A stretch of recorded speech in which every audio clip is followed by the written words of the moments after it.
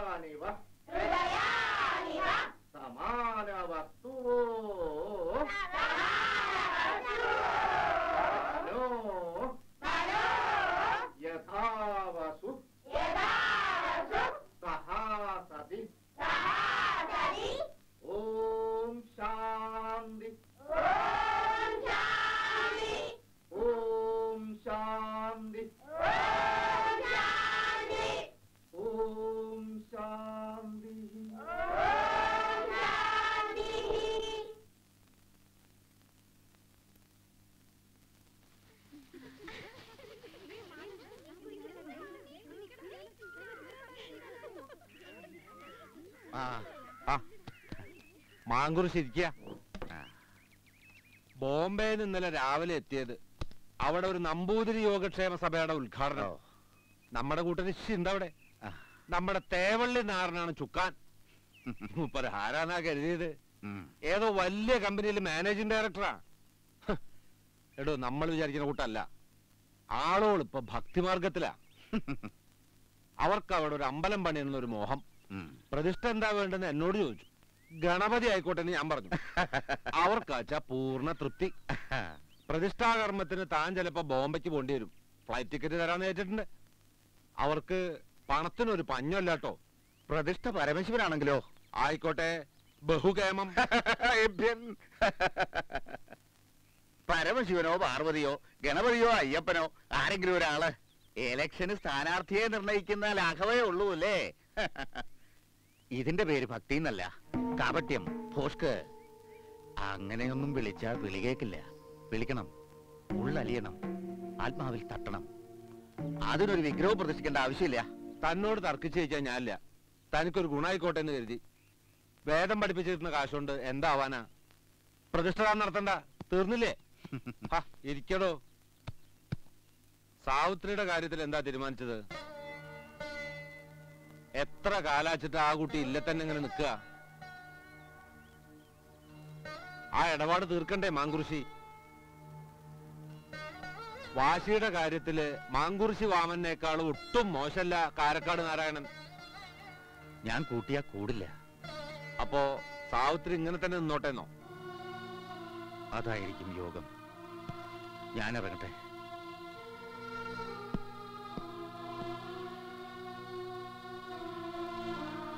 വിഷ്ണു? എവിടുന്നാ ഈ വേഷം? എങ്ങനെയുണ്ടോ ഓപ്പളെ? അസലായിട്ടുണ്ട്. എന്റെ കുട്ടിക്ക് കണ്ണു കിട്ടുട്ടോ അത് പുന്നാര അനീനായിട്ട് തോന്നുന്നല്ലേ ആട്ടെ നീ ഇത് എവിടുന്ന് ഒപ്പിച്ചു? സണ്ണിക്കുട്ടിയുടെ ഞങ്ങൾ ഒരു ഇന്റർവ്യൂവിന് പോവാ. ഇന്റർവ്യൂ എന്ന് കേൾക്കുമ്പോൾ ഞെട്ടരുത്. കൊമ്പത്തെ കമ്പനി ഒന്നുമല്ല ഒരു ആയുർവേദ ഫാർമസ്യൂട്ടിക്കൽസിലെ സെയിൽസ് റെപ്രസെന്റേറ്റീവ്. കിട്ടുന്ന ഉറപ്പൊന്നുമില്ല. ഒരു ശ്രമം. നീ ശ്രമിക്കുന്നുണ്ടല്ലോ. സന്തോഷം. എന്റെ കുട്ടിക്ക് അത് കിട്ടും. പോപ്പിളുടെ നാക്ക് പൊന്നാവട്ടെ. കിട്ടിയാൽ തന്നെ ഞാനല്ല തൂങ്ങിക്കാനൊന്നും പോണില്ല. ഒരു എക്സ്പീരിയൻസ് പ്രൈവറ്റ് ആയിട്ട് ബി എ കംപ്ലീറ്റ് ചെയ്യണം. നല്ലൊരു ഉദ്യോഗം. വലിയൊരു കമ്പനിയിൽ സണ്ണിക്കുട്ടിയുടെ അതേ ഗമയിൽ നടക്കണം. കാറൊക്കെ ഒന്ന് ഇരുന്ന് കഴിഞ്ഞിട്ട് മതി. ഇപ്പൊ ഒരു ബൈക്ക് അത്യാവശ്യം. അതിൽ ചെത്തി ഇങ്ങനെ നടക്കണം. ഒക്കെ ഒരു മോഹ ഓപ്പിളെ. ഓപ്പിളിന്റെ കാര്യം കഴിഞ്ഞിട്ടേ ഉള്ളൂ ഇതൊക്കെ. നിനക്കിതൊക്കെ ഉണ്ടാവും ഓ മറന്നു. കാതറൂട്ടി തന്നതാ ഇടയ്ക്കിടയ്ക്ക് കൈ ഉയർത്തി ഇങ്ങനെ നോക്കണത് ഒരു രസല്ലേ? പറഞ്ഞു കേട്ടിട്ടുണ്ട്. ഇന്റർവ്യൂവിന് പേഴ്സണാലിറ്റിക്കാ ഫസ്റ്റ് മാർക്ക് എന്ന്. അപ്പൊ ഇതൊക്കെ വേണം. തീർന്നില്ല. സണ്ണിക്കുട്ടിയുടെ അളിയൻ ദുബായിന്ന് കൊണ്ടുവന്നതാ. ഓസാണെന്നൊന്നും അവരറിയില്ലല്ലോ. പുറം ലോകം കാണാതെ അകത്തളത്തിൽ മാത്രം ഒതുങ്ങി കൂടുന്ന ഓപ്പോൾക്ക് ഇത്തിരി സുഗന്ധം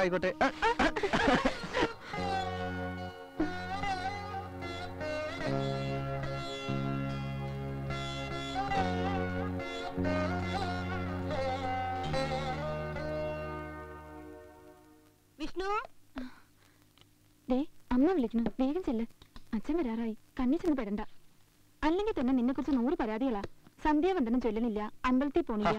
ദൈവങ്ങളെ വിളിച്ചിട്ട് രക്ഷയില്ലാത്തണ്ടല്ലേ ഞാൻ മനുഷ്യരുടെ കൂട്ടുപിടിക്കുന്നേ ദേ ആവശ്യമില്ലാത്തൊന്നും പറയണ്ടാട്ടോ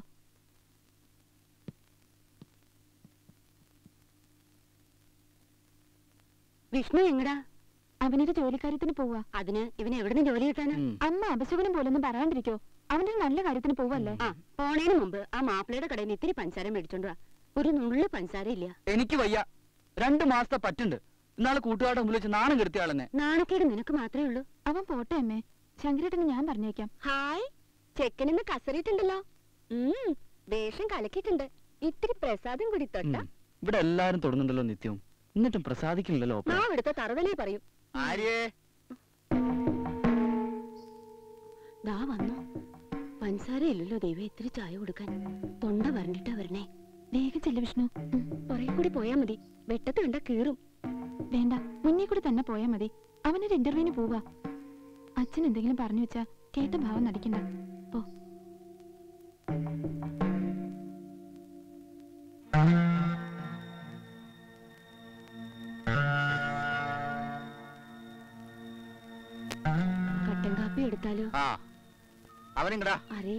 പിന്നെ നിനക്ക് എന്താ അറിയാ? ദൂഷിച്ച കൂട്ടുകെട്ട് സർക്കിട്ട്. ബ്രാഹ്മണ ജന്മം എടുത്തിട്ട് കുളിയില്ല തേവാരല്ല. നശിച്ചു. ഇവൻ പിറന്ന അന്ന് തുടങ്ങിയതാ മാങ്കുറിശിയുടെ ചുതി.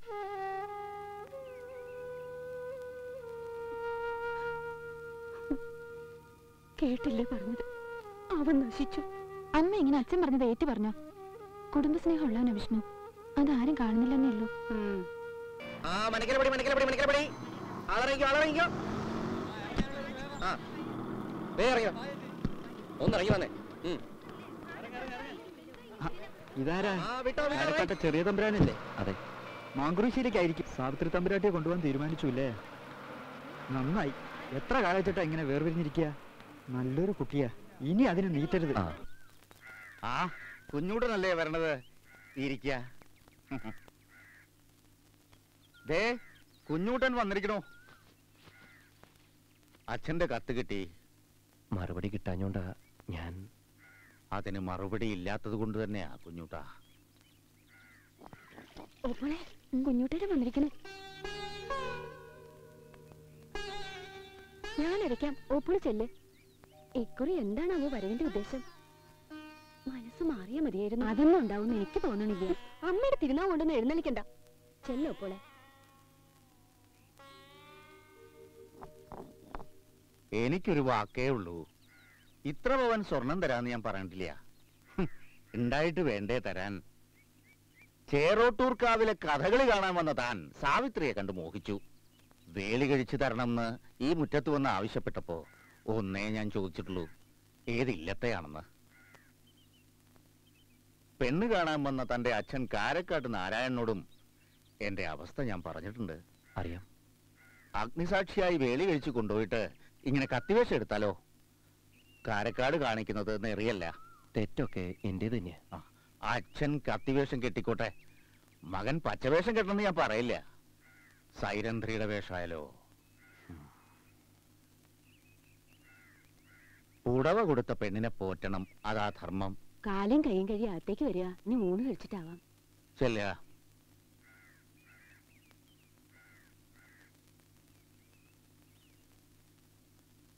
സാവു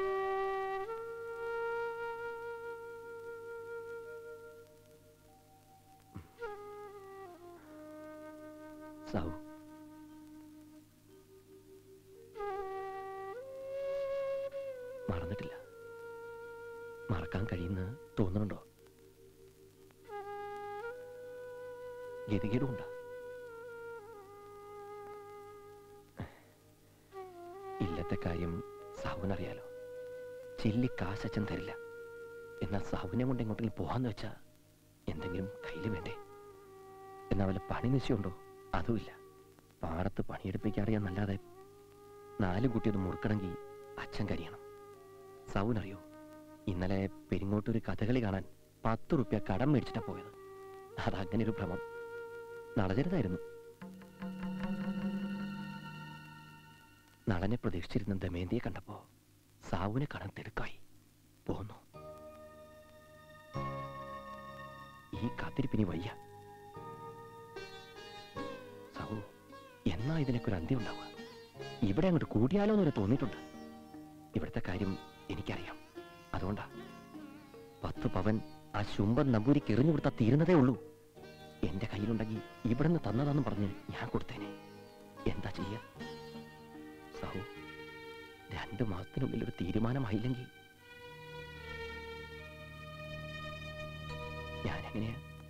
നോക്കി പറയാ ബന്ധം വേർപെടുത്തി എന്നെ കൊണ്ട് വേറൊരു വേളി കൽപ്പിക്കത്രേ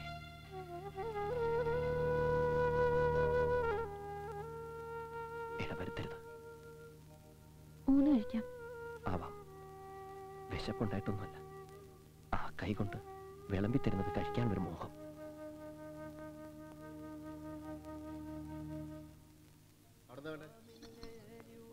കഴിക്കടാ. എനിക്ക് വിശപ്പില്ല സണ്ണിക്കുട്ടി. ചിക്കൻ വേണ്ടെങ്കിൽ വെജിറ്റബിൾ പറഞ്ഞു. ഓ അതിനെ ചിക്കൻ കഴിച്ചിട്ടില്ലേ? അതൊന്നുമല്ല. കഴിക്കണത് തെറ്റാണെന്നും തോന്നിയിട്ടില്ല. വേണ്ട. ഇന്റർവ്യൂവിന്റെ കാര്യം ഓർത്താണോ? നിന്നെ ആദ്യം അവിടെ തന്നെ സെലക്ട് ചെയ്തില്ലേ? ഔട്ടായി ഞങ്ങൾക്കൊരു വിഷമമില്ലല്ലോ. സെലക്ഷൻ കിട്ടിയിട്ട് എന്താ കാര്യം? ജോലി ഉറപ്പായില്ലല്ലോ. ഭാഗ്യമില്ലാത്തവനാ ഞാൻ. വിടടാ ഇതല്ലെങ്കിൽ വേറൊന്നും. കിട്ടണ്ടേ ഖാദർകുട്ടി വീട്ടിലെ കാര്യങ്ങളൊക്കെ നിനക്കറിയാലോ? മുങ്ങിത്താഴാറായിട്ടും പഴംപുരാണം പറഞ്ഞ് നടക്കുക. ആനുണ്ടായിരുന്ന തറവാട് അയ്യായിരം പറ പാട്ടളക്കണ മാങ്കുറിശി മന. അതിലൊരു ഉത്തരം വിറ്റ് കിട്ടുന്ന കാശുണ്ട്. ഒരു ചെറിയ വീട് മേടിച്ച് താമസിക്കാം. ഓരോന്നാ ഇടിഞ്ഞു വീണു തുടങ്ങി. ഒന്നിച്ചങ്ങോട്ട് വീണാ മതി എന്ന് വരെ തോന്നിയിട്ടുണ്ട്. അതിനു മുമ്പ് അത് കച്ചവടാക്കിയ എല്ലാം തീരണതേ ഉള്ളൂ. അച്ഛൻ കേക്കണ്ടേ? നീ വിഷമിക്കണ്ട വിഷ്ണു. എന്റെ അളിയനുണ്ട് ദുബായിൽ എന്നെ കൊണ്ടുപോകാൻ ഉറപ്പും തന്നിട്ടുണ്ട്. എനിക്കിത്തിരി വൈകിയാലും കുഴപ്പമൊന്നുമില്ല. നിനക്കൊരു വിസ ഞാൻ സംഘടിപ്പിച്ചു തരാം. അതിന് പാസ്പോർട്ട് എടുക്കണ്ടേ? അതിനുള്ള കാശ് ഞങ്ങൾ വെച്ചോളാം നീ ഒന്ന് രക്ഷപ്പെട്ട് കണ്ടാ മതി ഞങ്ങൾക്ക്. നടക്കോ ഖാദറുട്ടി? നടത്താം. നീ കഴിക്കേ. വേണ്ട. നിങ്ങൾ കഴിക്കേ. എനിക്കിറങ്ങില്ല?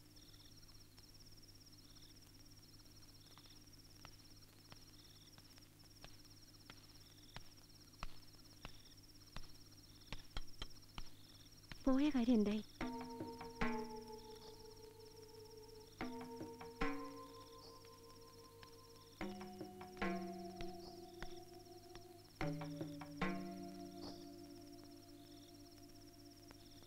നീ എന്തോ ഒന്നും മിണ്ടാത്തത്?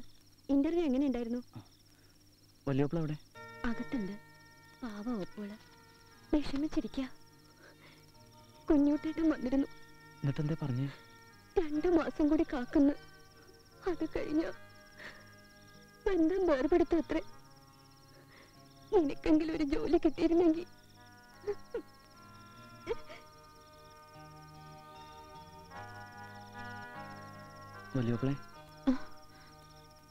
ഇന്റർവ്യൂ എന്തായടാ ചോദിച്ച ചോദ്യങ്ങൾക്കൊക്കെ മണി മണി പോലെ ഉത്തരം പറഞ്ഞു. എന്നെ ഇഷ്ടാവുകയും ചെയ്തു. പക്ഷേ പതിനായിരം റുപ്യ ഡെപ്പോസിറ്റ് കെട്ടണം. ഞാൻ ആ ജോലി വേണ്ടാന്ന് വെച്ചു ഓപ്പിളെ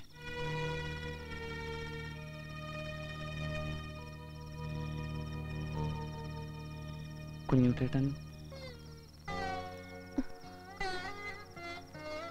സാരില്ലടാ. രണ്ടു മാസം ഉണ്ടല്ലോ ഇനിയും. പത്ത് പവന്റെ കാര്യമല്ലേ ഉള്ളൂ. ഞാൻ ഉണ്ടാക്കും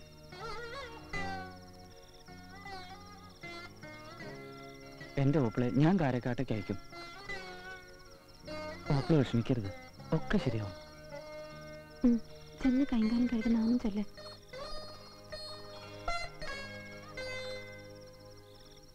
രണ്ടു മാസത്തിനുള്ളിൽ എവിടെ നിന്ന് എടുത്ത് കൊടുക്കാനാ? എന്നെ കൊണ്ട് അതിന് നിവൃത്തിയില്ല.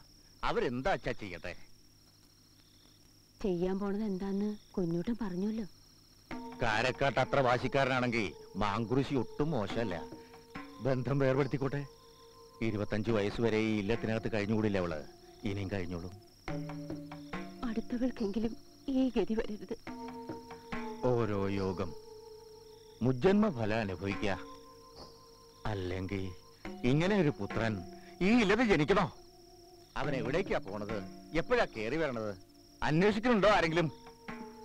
എന്തോ ജോലിക്കാര്യത്തിനാത്രേ. ജോലി എങ്ങനെ കിട്ടാനാ? ഗുരുത്വം വേണം. എന്നെങ്കിലും നിന്റെ മോൻ ചൊവ്വേ നടന്നിട്ടുണ്ടോ? അതെങ്ങനെ? അന്യജാതിക്കാരുടെ സംസർഗല്ലേ? പഠിക്കാൻ കോളേജിലേക്ക് അയച്ചു. എന്നിട്ടോ? കുരുത്തക്കേട് കാണിച്ചതിന് പുറത്താക്കി. സ്വകർമ്മങ്ങൾ ചെയ്തില്ലെങ്കിൽ ഇങ്ങനെയൊക്കെ ആവും ഫലം.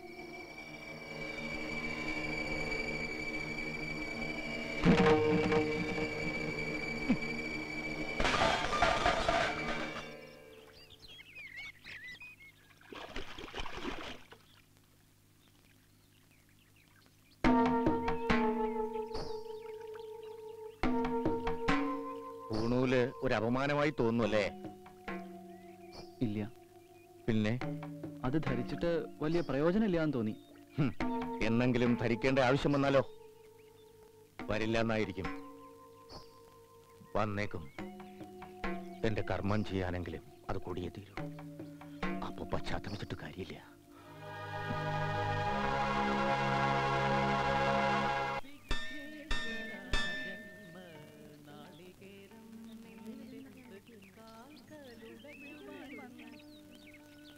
കുഞ്ഞുകൂട്ടം വന്നുപോയ വിവരങ്ങളൊക്കെ അറിഞ്ഞു. കഷ്ടായി. ഞാനങ്ങോട്ട് വരാതിരിക്കായിരുന്നു ഒന്നുമില്ല. വിഷ്ണുവിനൊരു ജോലിക്കാര്യം. ദേവസ്വം ബോർഡിൽ ശാന്തിക്കാരൻ ഒഴിവുണ്ടെന്ന് കേട്ടു. കിട്ടാൻ അത്ര എളുപ്പമൊന്നുമല്ല. എന്നാലും എനിക്കിത്തിരി പിടിപാടൊക്കെ ഉണ്ടെന്ന് അറിയാലോ. കിട്ടിയാ രക്ഷപ്പെട്ടു. ശാന്തിക്കാരന്റെ ജോലിയാ? എന്തേ? നിസ്സാരം തോന്നിയോ? സർക്കാർ ഉദ്യോഗ? ശ്രമിച്ചോളൂ വാസമാൻ. അവനൊരു ജോലി കിട്ടി. അത് അറിയണോണ്ട് തന്നെയാ. താല്പര്യം ഉണ്ടെങ്കിൽ വിഷ്ണുവിനോട് എന്നെ ഒന്ന് കാണാൻ പറയൂ. എനിക്ക് വയ്യ. ഒറ്റമുണ്ടെടുത്ത് പ്രസാദം കൊടുക്കുന്ന ശാന്തിക്കാരന്റെ വേഷം കെട്ടാൻ. ഇവന്റെ സംസാരം കേട്ടാ തോന്നുന്നു അപ്പോയിന്റ്മെന്റ് ഓർഡർ ആയിട്ട് പിന്നാലെ നടക്കാന്ന്. സർക്കാർ ഉദ്യോഗ? എന്നാലും എനിക്ക് വേണ്ട ഓപ്പളെ എടാ ലക്ഷം ഉറുപ്പിക വരെ കൊടുക്കാൻ തയ്യാറായിട്ടുള്ള ആളുകളുണ്ട്.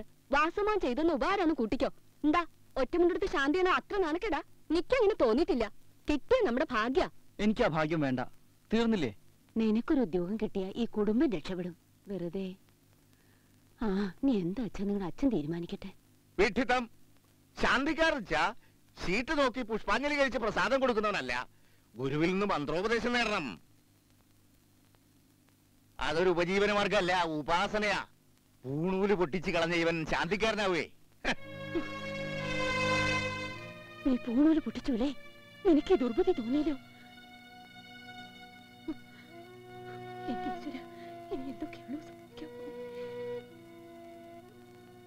വിഷ്ണു അച്ഛൻ എന്താച്ചാ പറഞ്ഞോട്ടെ? നിനക്ക് ഇതിലൊന്നും വിശ്വാസമില്ലെന്നറിയാം. ഒരു ഉദ്യോഗമായിട്ട് കൂട്ടിയ പോരെ. എന്നെ നീ ആലോചിക്കണ്ട. നീ നാല് കാശുണ്ടാക്കിയിട്ട് വേണം നമ്മുടെ വല്യപ്പോളെ.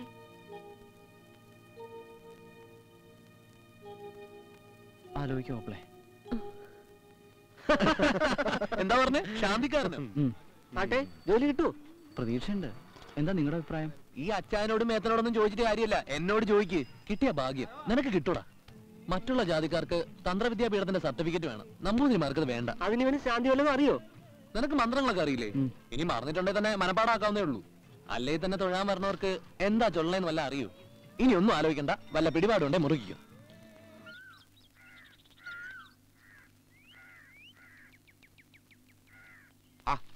ആരെ വരണേ വാടോ.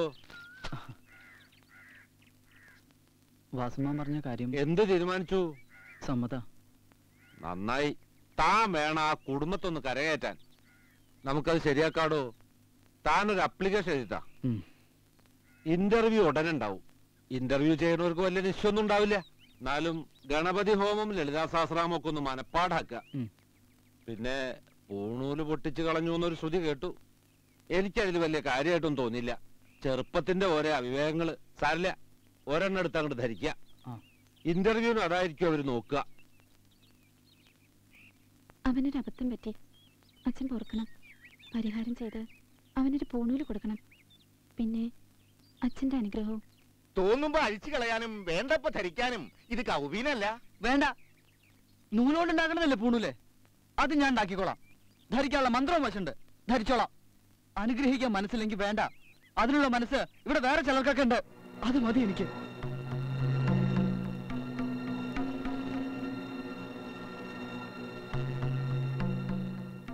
വേദവും ശാസ്ത്രവും മനപ്പാടാക്കിയ അച്ഛൻ ഇവരെ കണ്ടു നടിക്കണേ ഉള്ളൂ. കാണുന്നില്ല. പക്ഷെ ഞാൻ കാണുന്നുണ്ട്. അയക്കും ഞാൻ എന്റെ വല്യപ്പളെ കാരക്കാട്ടയ്ക്ക് നിഷേധി നീ നന്നാവില്ല. ഒരുത്തം കെട്ടവൻ. അച്ഛനെ ധിക്കരിക്കല്ലേ ക്ഷമ ചോദിക്കടാ.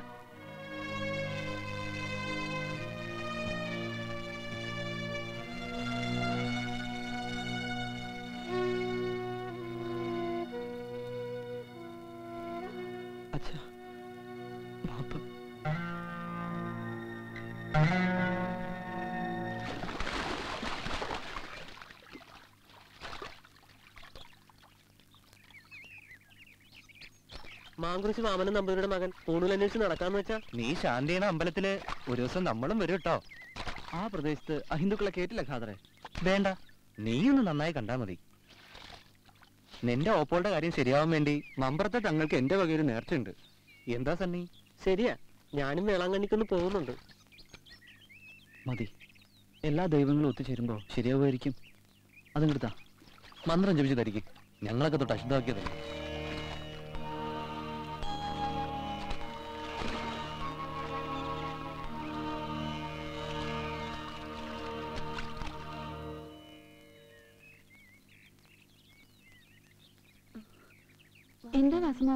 നിങ്ങളുടെ കഷ്ടകാലം തീർന്നു എന്ന് കരുതിക്കോളൂ. വിഷ്ണുവിന്റെ അപ്പോയിന്റ്മെന്റ് ഓർഡർ. നിസ്സാര അമ്പലമൊന്നല്ല തിരുനെല്ലൂർ കാവിലെ മൂന്നാം ശാന്തിക്കാരൻ. ആ വിഷ്ണു എവിടെയാ? വായനശാലയിൽ പോയിരിക്കുക വൈകിക്കാതെ നാളെ തന്നെ ജോയിൻ ചെയ്യാൻ പറഞ്ഞോളൂ. എനിക്ക് കിട്ടിയ വിഷുക്കൈ നീട്ടങ്ങളാ എന്നെ നോക്കിയിട്ടില്ല. പണത്തിന്റെ ആവശ്യം ഉണ്ടാവില്ല. എന്നാലും എന്റെ കുട്ടിക്ക് രുചിയായിട്ട് എന്തെങ്കിലും കഴിക്കണമെന്ന് തോന്നിയാലോ? നിങ്ങളെയൊക്കെ പിരിഞ്ഞ് എനിക്ക് കഴിയില്ല. അയ്യേ എന്തടേ കാണിക്കണേ. നീ ഇത്രയ്ക്കേ ഉള്ളൂ. വലിയ വീരവാദങ്ങളൊക്കെ മുഴക്കണ നീ ഇങ്ങനെ ചെറിയ കുട്ടികളെ പോലെ ആയാലോ വാ രാഹുലത്തിനും ഇറങ്ങണം അച്ഛന്റെ അമ്മയുടെ അനുഗ്രഹം വാങ്ങിയിട്ട് വേണം പടിയിറങ്ങാൻ.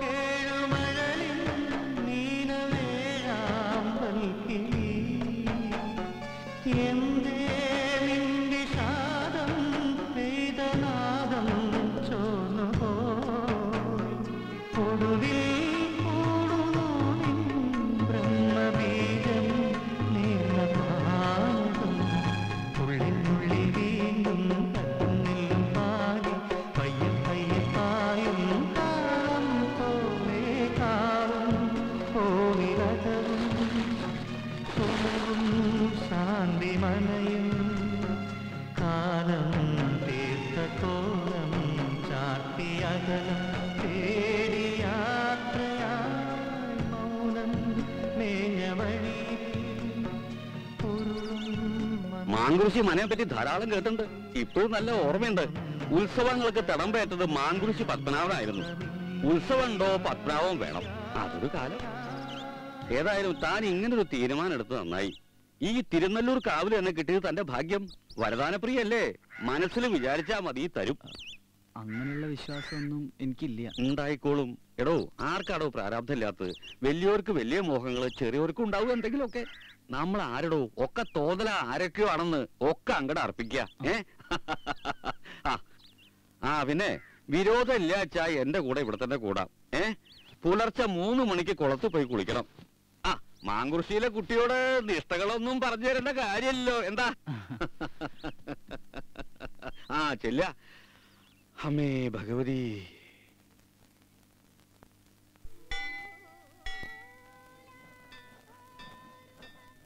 വിഷ്ണു അല്ലേ? വന്നു അറിഞ്ഞു. ശാന്തിയാണോ? ഏയ് അതിലും വലിയ പോസ്റ്റാ. ശാന്തിക്കാരനെ കാണണമെങ്കിൽ നട തുറക്കണം. നട തുറക്കണമെങ്കിലോ ഈ നാരായണൻകുട്ടി മാരാര് ഇടയ്ക്ക് കൊട്ടി പാടണം. അപ്പൊ ആരാണ് ഇതേ താമസൊക്കെ? ഇവിടെ തന്നെ കൂടാന്ന് വിചാരിച്ചു. ആ എന്നാ ഞാൻ അങ്ങോട്ട് ചെല്ലട്ടെ. നട തുറക്കാറായി.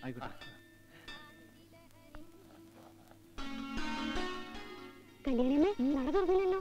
ഇല്ല ചിന്നൂട്ടിന് എന്താ വൈകിയ? എന്താ പറയാ? ഇത്ര തെച്ചിപ്പോ കിട്ടാൻ പറ്റ പാട്. മാനേട്ടാൻ വേണ്ടി നിർത്തി വെച്ചിരുന്നതാ.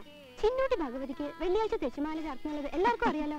ഇപ്പൊ കാളിത്തള്ളോട് കുട്ടികൾ വന്ന് പറിച്ചോണ്ട് പോയിരിക്കുന്നു.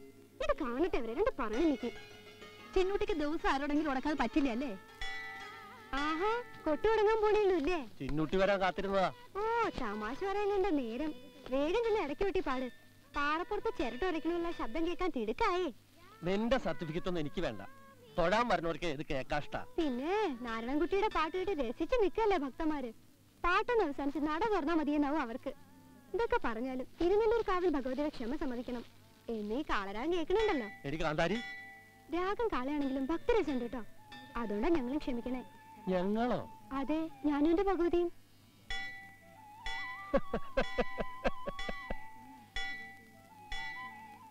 മുത്തശ്ശി നല്ല പണിയാ കാണിച്ച്. ആ പിൻഭാഗത്തെ വാതിലടക്കാണ്ട് പോന്നു. പാണ്ടം പറ്റിയുള്ള പാൽ മുഴുവൻ കുടിച്ചു. അയ്യോ. അപ്പൊ നീ എന്തെടുത്തിരുന്നു കുട്ടിയെ? ഭഗവതിക്ക് മാല പിന്നെ ആരാ കിട്ടുക? എന്റെ തെച്ചിപ്പെടുക്കാൻ തന്നോട് ആരാ പറഞ്ഞു? ചോദിച്ചായിട്ടില്ലേ ആരാ എന്റെ മാലോട്ട് അശുദ്ധാക്കിയെന്ന്? ഭഗവതിക്ക് അതെ ഭഗവതിക്ക് ചിന്നിട്ട് കൊണ്ടുവന്നതാ. ക്ഷമിക്കണം. ക്ഷമിക്കണം. നാരായണൻകുട്ടിയേട്ടാ ഇതേതാ ഒരു പുതിയ അവതാരം? ഇതാ പുതിയ ശാന്തിക്കാരൻ വിഷ്ണു. ഈ കുട്ടിയാ ശാന്തിക്കാരൻ? എന്താ? എന്നെ കണ്ടിട്ട് തോന്നണില്ലേ?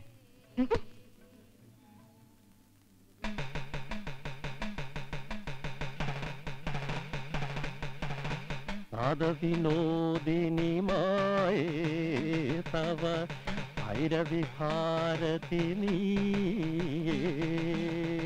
नादविनोदिनि माये तव भैरविभारतिनी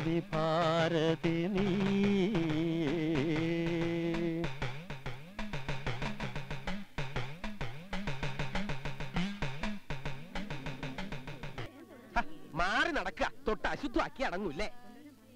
ഹ, എന്തായത്? ഇനിയും തിരിയിട്ട് തീർന്നില്ലേ? വേഗം വിളക്ക് കൊളുത്താൻ നോക്ക ചാർത്താനുള്ള മാല വല്ലതും കൊണ്ടുവന്നിട്ടുണ്ടോ? അതൊക്കെ ഏൽപ്പിച്ചിട്ടുണ്ട്. ഇത്ര ചിരിക്കാൻ മാത്രം ആരിവിടെ ഫലിതമൊന്നും പറഞ്ഞില്ലല്ലോ? ഇതൊരു ക്ഷേത്രമാണെന്നുള്ളത് മറക്കണ്ട. ഓ താനാണോ പുതിയ ശാന്തിക്കാരൻ? അതെ. എന്നാലേ താൻ വെറും മൂന്നാമനാ. ഞാൻ രണ്ടാമൻ ജനാർദ്ദനൻ പണ്ഡിതൻ ജനാർദ്ദൻ എന്ന് പറയും. വെറും ജാടയാ. ഇതൊന്നും കണ്ട് കുട്ടി പേടിക്കണ്ട കേട്ടോ. കുട്ടി. വഴി തരിക അമ്മേ ദേവി ഭഗവതി ശാന്തിക്കാര് നട തുറന്നിട്ട് വരിക. ഒരു ദിവസങ്ങൾ നേരത്തെ വന്നോട് ജനാർദ്ദന. മോപ്പടിന്റെ ക്ലച്ച് ബോർഡം പൊട്ടിയിട്ട് അതിന്റെ ആക്സിഡന്റ് വേഗം നോക്ക ദേവി. ആ മാറൂ.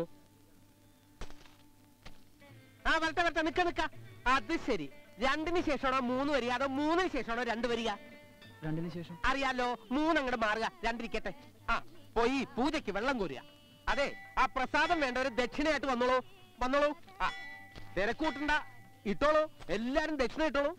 ആ ഇട്ടല്ലോ. അങ്ങനെ എല്ലാവരും ഇട്ടോളൂ. ആ ആ. ആ പോലീസിലേക്കുള്ള സെലക്ഷൻ ശരിയാവട്ടോ. രാഗിണിക്ക് പുഷ്പാഞ്ജലി കഴിപ്പിച്ചിട്ടുണ്ട്. ഇതാ പ്രസാദം.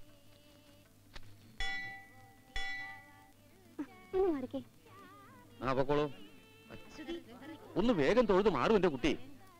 തൊഴാനും സമ്മതിക്കില്ല. മറ്റുള്ളവർക്കും തൊഴണ്ടേ? മാറു മാറു മാറു മാറു. ആ മാറു.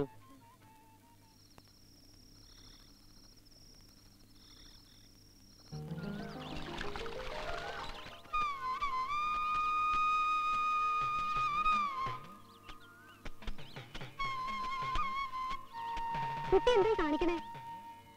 എന്താ കാണിക്കണേന്ന് മനസ്സിലായില്ലേ? മനസ്സിലായോണ്ട് തന്നെ ചോദിക്കണേ. എന്താ എല്ലാവരും തുണിയിലൊക്കെ പറഞ്ഞു?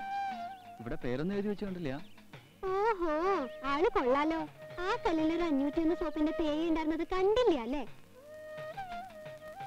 ഈ നാട്ടിലുള്ളവർക്കൊക്കെ അറിയാം ആ ചിന്നൂട്ടിയുടെയാന്ന് അതിന് ഞാൻ ഈ നാട്ടുകാരനല്ലല്ലോ. വെറുതെ വാചകം അടിക്കണ്ട. ഞാൻ രാവിലെ പതപ്പിച്ചിട്ട് പോയതാ. എന്നിട്ട് സുഖമായിട്ട് അതിൽ അലക്കുക. അത്രയ്ക്കൊന്നുമില്ല. ഒരു സോപ്പിന്റെ കഷ്ണം. കഷ്ണവുമില്ല. ദേ ഇത്തിരി. ദൈവമേ ഇത്രയുള്ളെന്ന് ആറ് മുണ്ടലക്കാളുള്ള സോപ്പുകളുണ്ടായിരുന്നു എന്നിട്ട് വല്ലവരുടെ സോപ്പിൽ അലക്കും കുട്ടിക്ക് നാണില്ലല്ലോ നാണല്ലാത്തത് എനിക്കല്ല. ആൺകുട്ടികൾ കുളിക്കുന്ന സ്ഥലത്ത് ഒരു പ്രായമായ സ്ത്രീ കുളിക്കാൻ വരാന്ന് വെച്ചാ? പ്രായമായ സ്ത്രീയോ? എന്നെയാ? വെറുതെ വേണ്ട കേട്ടോ. പിന്നെ എന്നെ കുട്ടിന്ന് വിളിച്ച ഞാൻ എന്താ പറയണ്ടേ? ഒന്നും പറയണ്ട. ആദ്യത്തിന് ഉത്തരം പറ. സോപ്പിന്റെ ഒരു തരി പോലും ബാക്കിയില്ലല്ലോ. ഇനി ഞാൻ എന്താ ചെയ്യാ? ഒരു തരി അഞ്ഞൂറ്റൊന്ന് സോപ്പിന് വേണ്ടിട്ടാണോ ഈ കിടന്ന് വായിട്ടടിക്കണേ ലക്ഷങ്ങൾ കൈക്കൂലി കൊടുത്തിട്ടല്ലേ ശാന്തിക്കാരന്റെ ജോലി തട്ടിയെടുത്തത്? ഇനി അതിന്റെ ഇരട്ടി കൊയ്യാലോ അപ്പോൾ അഞ്ഞൂറ്റൊന്ന് സൂപ്പിന് വില ഉണ്ടാവില്ല നിക്ക് തന്നണ്ടേ. എന്താ ചെന്നൂര് കശപിശ? കല്യാണിമേ എന്റെ സോപ്പിട്ട് മുണ്ടലിക്കതും പോരാ. ആവശ്യമില്ല എന്നോട് വഴക്കിന് വരിക എന്തിനാ തിരുമേനി കുട്ടിയുടെ നേരെ വഴക്കിന് പോന്നേ? ഇവളുടെ നാക്കിന് ലൈസൻസ് ഇല്ല. മര്യാദയ്ക്ക് ഒരു അഞ്ഞൂറ്റൊന്ന് സോപ്പ് മേടിച്ചു തന്നു. അതങ്ങ് മേടിച്ചു കൊടുത്തോട്ടോ. ഇല്ലെങ്കിൽ സ്വൈര്യം തരില്ല. സമയം മുഴുവൻ പോയി. ഇന്ന് പാത്രപ്പുഴ എടുക്കുന്ന ദിവസം. എനിക്ക് അടിക്കും. ഭഗവതി പറഞ്ഞിട്ടുണ്ട്.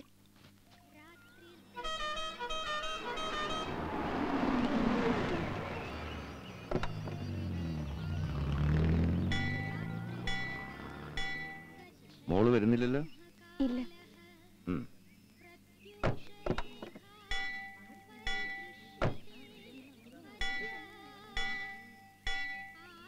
നമസ്കാരം. നമസ്കാരം.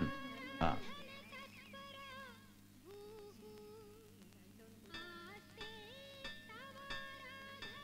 നമസ്കാരം. നമസ്കാരം. തൊടുത്തിട്ട് അതാരാ കുട്ടിട്ടാ കേട്ടിട്ടില്ലേ? മണികണ്ഠത്ത് മാധവമേനോൻ. കോടീശ്വരനാ. ഇയാൾക്കില്ലാത്ത ബിസിനസ് ഒന്നുമില്ല. ഭഗവതിക്ക് വാരിക്കോരി കൊടുക്കാൻ ഒരു മടിയില്ല.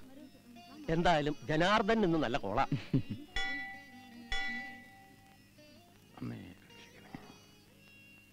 അത്യാവശ്യമായിട്ട് തിരുവനന്തപുരം വരെ പോവാ. പുതിയൊരു ബിസിനസിന്റെ ആവശ്യത്തിന് മന്ത്രി ഒന്ന് കാണണം. നാ ഭഗവതിയെ തൊഴുതിട്ടാകാം എന്ന് വെച്ചു. അമ്മയുടെ കടാക്ഷം കൊണ്ട് മേനോന് ഒരു കുറവും വരില്ല. പോണ കാര്യം ഭംഗിയായിട്ട് നടക്കും. ആ ഭഗവതിയുടെ അനുഗ്രഹം മേടിച്ചിട്ടേ ഉള്ളൂ എന്തും. ദാ പ്രസാദം. ആ ആ. തിരുവേനി ഓ. ഭഗവതിക്ക് ആടിച്ച് കുറച്ച് എണ്ണ വേണം. അതിനെന്താ എടുക്കാലോ? മോൾക്കാവൂല്ലേ? അതെ കാറിലുണ്ട്. ആ എക്സിക്യൂട്ടീവ് ഓഫീസർ ഒന്ന് കാണും ഉടൻ വിളിപ്പിക്കാം. വന്നോളൂ. ആ കഴിഞ്ഞ പ്രാവശ്യം വന്നപ്പോ മോൾക്കൊരു രക്ഷ ജപിച്ചു തരണമെന്ന് പറഞ്ഞിരുന്നു. ആ ഊവ്. അതെടുത്തു അത് എടുത്തു വെച്ചിട്ടുണ്ട്. ഓ. വിഷ്ണു? ഇതാരാ? മനസ്സിലായില്ലല്ലോ. ഇത് പുതുതായിട്ട് വന്ന ശാന്തിക്കാരനാ. പേര് കെട്ട ഇല്ലത്തെയാ. ആ വിഷ്ണു എന്റെ മുറിയിൽ വടക്കേ ഭാഗത്തെ പെട്ടിയിൽ ഒരു പൂജിച്ച രക്ഷരിപ്പുണ്ട്. അതൊന്ന് ആ കാറി കൊണ്ടു കൊടുക്ക. ഓ. മേനോൻ സാർ വിളിക്കുന്നുണ്ട്. ആ. ആ വരണ വിവരത്തിനൊന്ന് വിളിച്ചറിയിക്കായിരുന്നു. ഭഗവതി ഒന്ന് തൊഴണമെന്ന് തോന്നി ഇങ്ങ് പോന്നു. ഇവിടെ വന്ന് തൊഴിലിട്ടൊരു കാര്യത്തിന് ഇറങ്ങി തിരിച്ചാ അതിന് ഫലം ഉണ്ടാവും ഇതുവരെയുള്ള എന്റെ അനുഭവമാണ് മേനോ സാറിന്റെ വലിയ മനസ്സ്. അതുണ്ടേ. പിന്നെ അടിപതറാത്ത വിശ്വാസവും. തിരുനെല്ലൂക്കാവ് ഭഗവതി കൂടെ ഉണ്ടെന്ന് കൂട്ടിക്കോളൂ. ആ ഉത്സവം ഗംഭീരമാക്കണം. ഓ പഞ്ചവാദ്യം തൃത്താലനാരായണം തന്നെ വേണം. സീസൺ തുടങ്ങാറായി ആനയ്ക്ക് ഇപ്പോഴേ ഏർപ്പാട് ചെയ്തോളൂ പിന്നെ വേറെ എന്തൊക്കെയാ വേണ്ടേന്ന് വെച്ചാൽ ഒന്നും ചോദിക്കാൻ പഠിക്കണ്ട എന്നാലാവുന്നതൊക്കെ ചെയ്യാം. ആയിക്കോട്ടെ. മേനോ സാറേ വലിയ ഒരുപാട് വല്ലതും ആയിക്കോട്ടെ. തന്റെ കോൺട്രാക്ട് മുതലായിക്കോട്ടെ. നൂറ്റിയൊന്ന് പിടി. നവ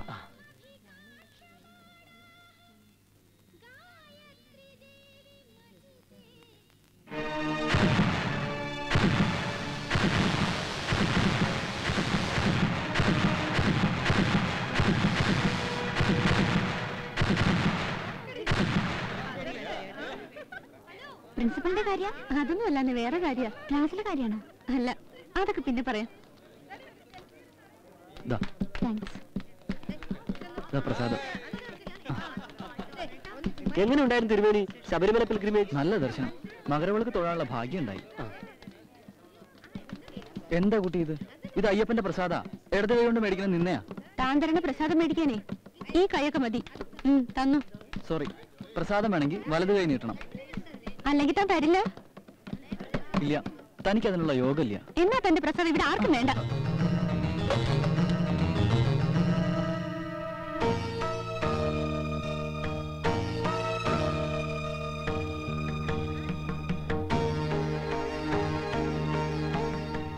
അച്ഛന് തലപ്പത്ത് പിടിയുണ്ടെന്നുള്ള അഹങ്കാരം അവൾക്ക്. അത് അടക്കിയേ തീരൂ. പണത്തിന്റെ ഹുങ്ക്. ഒരു പെട കൊടുക്കാറുന്നില്ലടാ ഇനി ഇത് ഈ കോളേജിൽ മറ്റാരോടും കാണിക്കരുത്. ഞാൻ നിർത്തി കൊടുക്കണം? വേണ്ട. അവളിതിന് പശ്ചാത്തപിക്കും. അതുപോരാ ആണാണെങ്കിൽ നീ ഇതിന് പകരം വീട്ടണം. വഴി ഞാൻ പറഞ്ഞുതരാം. അല്പം വളഞ്ഞ വഴിയാ. ധൈര്യമായിട്ട് പറഞ്ഞു. ഞങ്ങളുണ്ടോ നിന്റെ കൂടെ?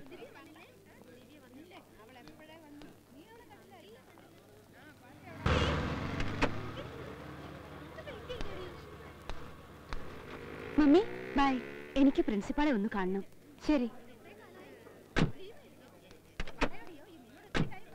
ഓ നിമ്മി തെറ്റെന്റെയാ?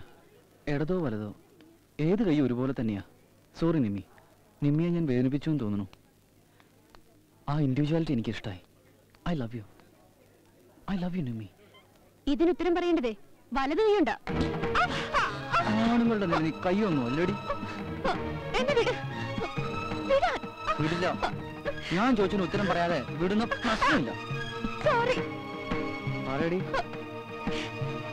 സോറി അതല്ല ഐ ലവ് യു വിഷ്ണു എന്ന് പറയണം. വിഷ്ണു കൈവിടാൻ അത് പറയാതെ നിന്നെ വിടുകടി ഐ ലവ് യു വിഷ്ണു. നിന്നെ ഞാൻ കാണിച്ചു തരാടാ.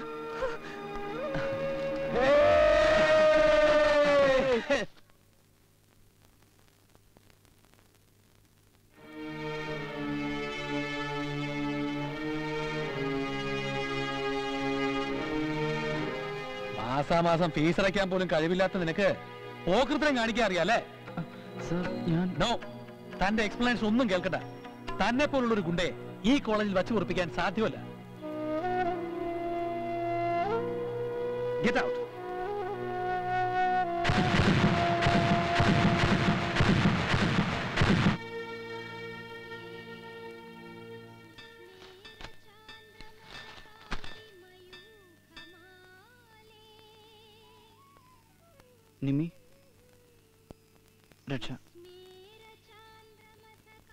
മേൽശാന്തി തന്നതാ. ശീലം മാറ്റിയിട്ടില്ല അല്ലേ? ഭഗവതിയുടെ നടക്കി വെച്ച് പൂജിച്ച രക്ഷ ഇടത് കൈകൊണ്ട് ഞാൻ എന്റെ ശീലം മാറ്റിയിരിക്കുന്നു? അന്നത്തോടെ വിശ്വാസങ്ങളും മാറി. ഇടത് കൈ കൊണ്ട് മേടിക്കണേൽ ഒരു തെറ്റുമില്ല.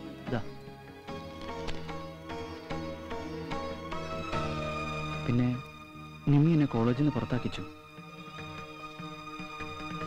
ബി എ പൂർത്തിയാക്കാൻ കഴിഞ്ഞില്ല. നിങ്ങളുടെ കുറ്റല്ല എന്റെ വിധി. കഴിഞ്ഞതൊക്കെ കഴിഞ്ഞു. ഞാനിവിടുത്തെ ശാന്തിക്കാരനാവേണ്ടി വന്നു ഒക്കെ ഒരു നിമിത്ത. എന്നെ ആശ്രയിച്ച് കഴിയുന്ന ഒരു കുടുംബമുണ്ട്. നിമ്മിയുടെ അച്ഛൻ ഇവിടുത്തെ ദേവസ്വത്തിൽ വലിയ സ്വാധീനമുള്ള ആളാണെന്നറിയാം. ദൈവത്തെ ഓർത്ത് ഈ ജോലി കളയിക്കരുത് പ്ലീസ്. രക്ഷതര മേൽശാന്തി പറഞ്ഞു. ഓ ഞാനതങ്ങ് മറന്നു. എന്തായാലും നന്നായി. തിരുമേനിയുടെ പേരെന്താണെന്നാ പറഞ്ഞത് വിഷ്ണു. ഇതാ ഒരു ദക്ഷിണ. സോറി വേണ്ട. അപ്പൊ പറഞ്ഞതുപോലെ. ഓ ആയിക്കോട്ടെ. ഉത്സവത്തിന് നേരത്തെ എത്തിക്കോളാം. ശരി. ഓ. ആ.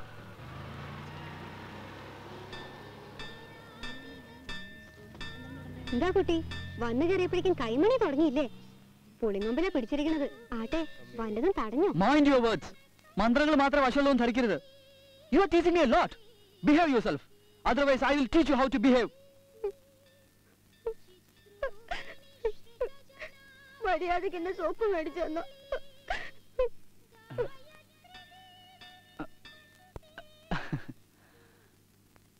പ്രിയമുള്ള ഓപ്പോൾക്ക് കത്തെഴുതാൻ വൈകിയതിൽ ക്ഷമിക്കണം. ഇവിടെ എനിക്ക് സുഖം തന്നെ. പുതിയ സാഹചര്യങ്ങളുമായി ഇഴുകിച്ചേരാൻ അല്പം ബുദ്ധിമുട്ടുണ്ട്. എന്നാലും ഒരു അല്പ ആശ്വാസം ഇവിടുത്തെ മേൽശാന്തി ദാമോദരൻ നമ്പൂതിരിയാണ്. ദിവ്യനാണ്. അദ്ദേഹത്തിന്റെ വാക്കുകൾ എനിക്ക് ആശ്വാസം പകരുന്നു. ഒപ്പം ആത്മബലവും. വല്യോപ്പോളുടെ കാര്യം ഓർക്കുമ്പോഴാണ് വിഷമം. പൂജയൊന്നും എന്നെ കൊണ്ട് ചെയ്യിക്കുന്നില്ല. ഒരു സഹായിയായി നിൽക്കുന്നു. നമ്മുടെ കഷ്ടപ്പാടുകൾ എന്ന് തീരുമെന്ന വ്യഥ മനസ്സിനെ അലട്ടുന്നു. എന്നാലും എന്തൊക്കെയോ പ്രതീക്ഷ തോന്നുന്നു. ശരിയാവുമായിരിക്കും. രണ്ടാം ശാന്തിക്കാരൻ ജനാർദ്ദന് കൊയ്ത്താണ്. അത്രയ്ക്കുണ്ട് നടവരവ്. ശാന്തിക്കാരന്റെ കണ്ണ് നടവരവില. കലികാലം. ഇപ്പൊ എന്റെ മനസ്സിലൊന്നേ ഉള്ളൂ. വല്യപ്പോളെ കാരക്കാട്ടേക്ക് അയക്കണം. പിന്നെ ചെറിയപ്പോളുടെ കാര്യം. വിഷ്ണു ഒന്നും മറന്നിട്ടില്ല. മറക്കില്ല. അച്ഛനോടും അമ്മയോടും എന്റെ അന്വേഷണം അറിയിക്കണം. ശമ്പളം കിട്ടുമ്പോ പണം അയക്കാം. മാപ്പിളയുടെ കടം വീട്ടണം. പിന്നെയൊക്കെ ഓപ്പോളുടെ ഇഷ്ടം. സ്നേഹത്തോടെ വിഷ്ണു.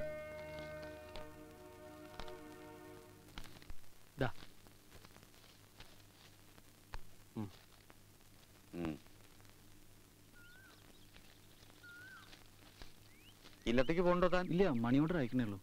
പൂവാണെങ്കിൽ നൂറ് കൂട്ടം ചെലവാ. അതിനേക്കാൾ ഭേദം? കുടുംബത്തോട് തനിക്കുള്ള കൂറ് എനിക്ക് മനസ്സിലാവുണ്ട് തനിക്ക് നല്ലതേ വരും. അല്ല നിങ്ങൾ ശമ്പളം വാങ്ങിയോ? ചെല്ല്. വിഷ്ണു പോകല്ലേ ചെലവ് ചെയ്യണം. ആദ്യത്തെ ശമ്പളം അല്ലേ ചുംബൻ കാശുണ്ടാക്കണം എന്നുള്ള ആക്രാന്തല്ലാതെ വേറെ ഒരു ചിന്തയില്ല. തിരുമേനിയുടെ വീട്ടിലാരൊക്കെ ഉണ്ട് എനിക്കുണ്ടോ ഒരു കുടുംബം? എന്റെ ഭാഗ്യം എന്താണെന്നറിയോ? ആർക്കും ഒരു പരാതിയില്ല. ഈ കൊടുക്കണ തുക കൊണ്ട് അവർ സന്തോഷമായിട്ട് ജീവിച്ചോളൂ ആ പിന്നെ ഒരു വിഷമേ ഉള്ളൂ. ഈ കാവിന്റെ ഉത്ഭവം എന്താന്ന് എനിക്കറിയോ? ഇല്ല. ആ തിരുനെല്ലൂർ മനക്കിലെ കാരണവർക്ക് അതായത് എന്റെ മുത്തശ്ശന്റെ അച്ഛന് മനക്കിലെ തൊടിയുന്നൊരു വിഗ്രഹം കിട്ടി. അദ്ദേഹം പ്രതിഷ്ഠ നടത്തി പിന്നീട് അതൊരു അമ്പലായി. തുടങ്ങിയില്ലേ ഭക്തജന പ്രവാഹം. നടവരവ് കൂടിയപ്പോ ഊരായ്മ മാറി. ചുരുക്കി പറഞ്ഞ ഭഗവതിയെ സർക്കാരിന് കൊടുത്തു. ഇപ്പൊ ഭഗവതി ഉണ്ടാക്കണ കാശ് മുഴുവൻ സർക്കാരിന്. ആ മനക്കിലെ തിരുമേനി സർക്കാർ ഉദ്യോഗസ്ഥരും ഭഗവതി നമ്മുടെ സ്വത്താണെന്നും പറഞ്ഞിട്ട് കാര്യമില്ലല്ലോ. ഒപ്പിട്ട് കൊടുത്താലേ കാശ് കിട്ടൂ. ഭഗവതിയുടെ ഓരോ തവാശേ അമ്പലത്തിൽ നിന്നുള്ള പ്രസാദം കൊണ്ടുവരാൻ പോലും ചിന്നൂട്ടിക്ക് ഇപ്പൊ സമയമില്ല. പാത്രക്കുറിയും പണ്ടക്കുറിയും ഒക്കെ ആയിട്ട് നടക്കുക അവൾ. എന്താ വിഷ്ണു നമ്പൂതിരി? ഇത് ചിന്നൂട്ടിക്ക് കൊടുത്തോളൂ. അഞ്ഞൂറ്റൊന്നിന്റെ സോപ്പ്. തിരുമേനി അത് കാര്യമാക്കിയോ കൊറോണ പിടിച്ച സ്വഭാവം അതിന്റെ. മനസ്സിലൊന്നുമില്ല കേട്ടോ. എന്തെങ്കിലും ഏടാകൂടെ ഒപ്പിച്ചിട്ടുണ്ടാവും. അച്ഛനും അമ്മയും ഇല്ലാത്ത കുട്ടിയാ. തിരുമേനി മാപ്പാക്കുക ഗാഗുവിന്റെ വീട്ടിലേക്ക്. ഞാൻ എന്തൊക്കെയാ ഇംഗ്ലീഷ് പൊരിക്കണത് കേട്ടല്ലോ. ആദ്യമായിട്ടാ ഒരാൾ എന്റെ മുഖത്ത് നോക്കി ഇംഗ്ലീഷ് ചീത്ത പറയണത്. ശാന്തിക്കാരൻ തിരുമേനിയില്ലെന്ന് കരുതി ഞാൻ നാവടക്കിയതാ. കുട്ടി എങ്ങനെയാ വന്നേ? ചിന്നു നീ ആരോടാ സംസാരിക്കുന്നറിയോ കല്യാണമൊന്നും മിണ്ടാതിരിക്കെ. ഈ എഴുന്നള്ളത്തിന്റെ ഉദ്ദേശം മനസ്സിലായി. അറിയാതെ ഞാൻ എന്തൊക്കെയോ പറഞ്ഞു പോയി ചെന്നൂട്ടിയെ. മനഃപൂർവമല്ല ഒരബദ്ധം പറ്റിയതാ. എന്നോട് ക്ഷമിക്കണം. സത്യം പറ. സൂപ്പറല്ലേ വന്നത്? അല്ല സോപ്പ് തരാനാ. ഒരു കഷ്ണല്ല ഒരു ബാർ മുഴുവനുണ്ട്. ഇനി അതും പറഞ്ഞു എന്നെ ബുദ്ധിമുട്ടിക്കരുത്. നന്നായുള്ളൂ. മുത്തശ്ശി ലോട്ടറി അടിച്ചു. അഞ്ഞൂറ് ഉറുപ്പിയുടെ പാത്രങ്ങൾ കിട്ടി. ആർക്കാ കുട്ടിയെ നീ ഇതൊക്കെ സ്വരുക്കൂട്ടണേ? നിക്ക് തന്നെ എന്താ കല്യാണത്തിന്. ചിന്നൂട്ടി ആരും ധർമ്മക്കെട്ട് കെട്ടണ്ട. പണ്ടോ പാത്രമോ ഒക്കെ ഞാൻ ഉണ്ടാക്കും. ഇതൊക്കെ ഉണ്ടാക്കിയാൽ മാത്രം പോരാ. പെരുമാറാൻ കൂടി പഠിക്കണം. എന്തിനാ കുട്ടിയാ നമ്പൂരിക്കുട്ടി ഇങ്ങനെ വലക്കണേ അതിന് കല്യാണമേക്ക് എന്തത്ര ദണ്ണം? ഈ ജോലിയിട്ടാൾ കാശത്ര മുടക്കിണ്ടാവും. ഒന്നും കാണാതെ മുടക്കില്ലല്ലോ. തിരുനെല്ലൂക്കാവി തന്നെ മേടിച്ചെടുത്തപ്പോ ആരാ മുതൽ? നാളെ നടക്കുവോ? ആ കുട്ടിയെ കുറിച്ച് നീ എന്താ ധരിച്ചത്? മേൽശാന്തി പറഞ്ഞപ്പോഴാ അറിഞ്ഞത്. വലിയ പ്രാരാബ്ദമുള്ളത് ഇല്ലത്തെ ഇല്ലത്തെയാണത്രേ. രണ്ട് ഓപ്പൺമാര് പുരനിറഞ്ഞു നിൽക്കുക. ആൺതരിയായിട്ട് ഇതൊന്നേ ഉള്ളൂ. പുറത്ത് കാണിക്കാതെ ഒക്കെ മനസ്സിൽ വെച്ച് നീറ്റുക ആ കുട്ടി.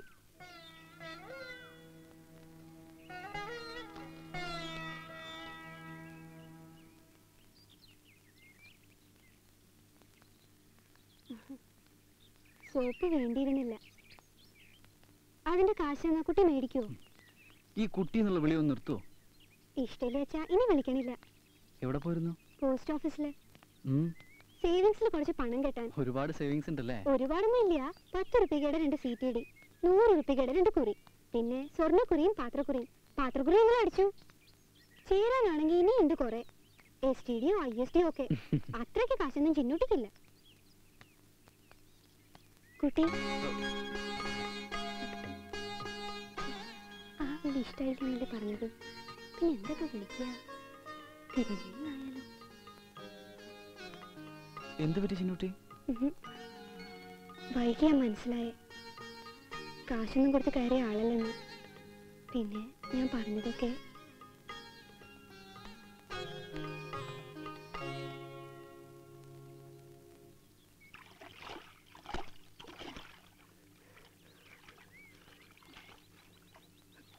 ഒരു എഴുത്തുണ്ട്. പോസ്റ്റ്മാൻ എന്റെ അടുത്ത് വന്നു.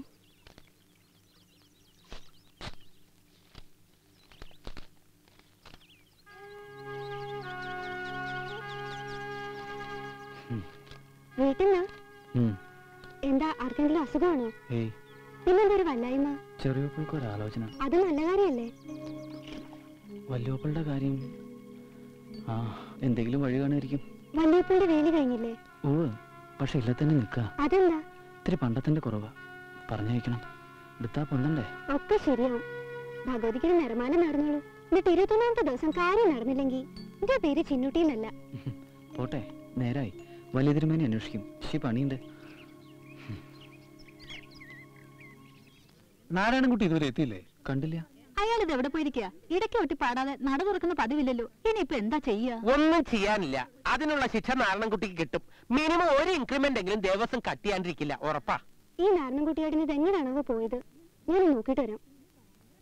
എത്തിയാൽ ആൾക്ക്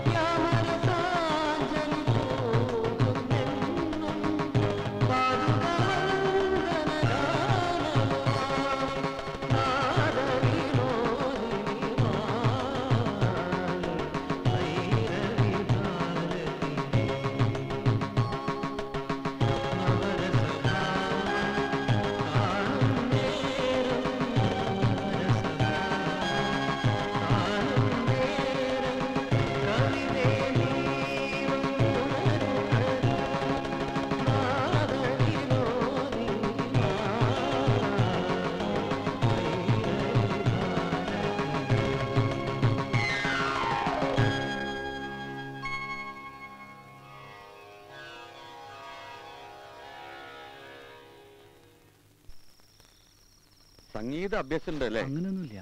വല്യോപ്പിൾ പാടും. അത്. കേട്ട് ഞാനുണ്ട്. ആ പിന്നെ നാളെ മുതൽക്ക് പൂജകൾക്ക് തന്നെ സഹായിക്കണം. ഗണപതി ഹോമത്തിലാവട്ടെ തുടക്കം. വശണ്ടല്ലോ. എന്നാ നാളത്തെ ഹോമം ചെയ്യണത് താനാ. ഹമേ ഭൂരി.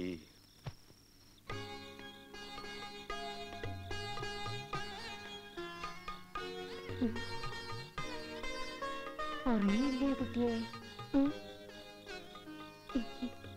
ഭഗവതേ ഈ എട്ടും പൊട്ടും തിരിയാത്ത കുട്ടിയെ ആരുടെയെങ്കിലും കയ്യിൽ ഏൽപ്പിച്ചിട്ട് വേണം. എന്റെ കണ്ണടയെ.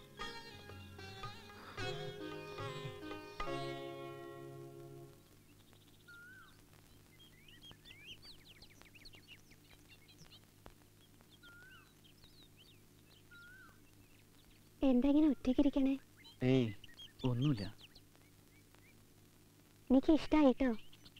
പാട്ട് കേമായി പാട്ട് മാത്രല്ല. പാടിയ ആളെയും. ഇതാരും കേക്കണ്ടോ കേട്ടോ കേട്ടാ എനിക്കെന്താ വല്ലോരും ചെലവിലൊന്നുമല്ലല്ലോ ഞാൻ കഴിയണത്? ഒന്നും ഇല്ലാത്തവളൊന്നുമല്ല ചിന്നൂട്ടി. എന്റെ അടുത്ത് ഉണ്ട് ഇഷ്ടം പോലെ? എന്തൊക്കെ ഇഷ്ടം പോലെ ഉള്ളത്? എന്തൊക്കെയാണെന്നോ? എന്റെ അടുത്ത് എത്ര പവനുണ്ടെന്നാ വിചാരിച്ചിരിക്കണേ? നാലര പവൻ. എന്താ ഞെട്ടിയോ? സത്യം ഞെട്ടി. ദേ ഈ കാതി കിടക്കുന്നത് ഒരു പവൻ. ഒരു ഗ്രാം കുറയുന്നേ ഉള്ളൂ. പിന്നെ ഒരു മാല. രണ്ടര പവന്റെ. ദാ ഒരു പവന്റെ രണ്ട് വള. മാല ഇതല്ലാട്ടോ ഇത് ഇമിറ്റേഷനാ. പെട്ടിയിൽ പൂട്ടി വെച്ചിരിക്കുക അമ്പലത്തിലേക്ക് അത് ഇട്ടിട്ട് പോയാ തിരക്കിലാണെങ്കിലും പൊട്ടിച്ചിട്ട്. പോയാലോ? വല്ലപ്പോഴും അങ്ങനെ എടുക്കൂ. നാലര പവന്റെ ഉടമയാണ് ചിന്നുട്ടി. അപ്പൊ ആരും പേടിക്കേണ്ട കാര്യമില്ല. സ്വർണം മാത്രമൊന്നുമല്ല ഇനിയുണ്ട്. എന്റെ കയ്യിൽ ഇത്രയൊക്കെ ഉണ്ടെന്ന് ഞാനെന്തിനാ മറ്റുള്ളവരോട് പറയണേ? അത് അല്പത്തിലല്ലേ പറഞ്ഞേ ഉള്ളൂ. അതുകൊണ്ട് എനിക്കാരെയും പേടിക്കേണ്ട കാര്യമില്ല. ഒരാളെ ഒഴിച്ച്. അതാരാ? ഭഗവതിയെ. ഇതൊക്കെ എനിക്ക് ഭഗവതി തന്നതാ ഭഗവതിയോട് ചോദിച്ചിട്ട് ഞാൻ എന്തും ചെയ്യൂ. അതെങ്ങനെയാ? ഭഗവതി ചിന്നുട്ടിയുടെ അടുത്ത് നേരിട്ട് സംസാരിക്കോ സംസാരിക്കുമെന്ന്. എന്നും സ്വപ്നത്തിൽ കാണുന്നതല്ലേ? കാണുന്ന മുഖം കൊന്ന പൂത്ത പോലെ മുറുക്കി ചോപ്പിച്ച ചുണ്ട്. പിച്ചിപ്പൂ ചൂടിയ മുടി. കണങ്കാൽ വരെ കിടക്കും. എന്നിട്ട് മാടി വിളിക്കും. ചിന്നൂട്ടിയേ മോളേന്ന്. എന്നിട്ട് മടി കിടക്കും. അതൊക്കെ തോന്നലാ. ഒരുതരം മാനസിക രോഗം. അത് ഭഗവതി ഒന്നും ആയിരിക്കില്ല. ദേ എന്റെ ഭഗവതിയെ കുറിച്ച് ഒന്നും പറഞ്ഞിട്ടുണ്ടല്ലോ അത് മാത്രം ചിന്നൂട്ടി സഹിക്കില്ല കേട്ടോ. എനിക്ക് വിശ്വാസമില്ലാഞ്ഞിട്ട് തന്നെയാ. തന്റെ ഭഗവതി തനിക്ക് നാലര പവൻ തന്നു. കണ്ണി കണ്ട ആൾക്കാർക്കൊക്കെ വാരി കോരി കൊടുക്കുന്നുണ്ട്. നിക്കോ?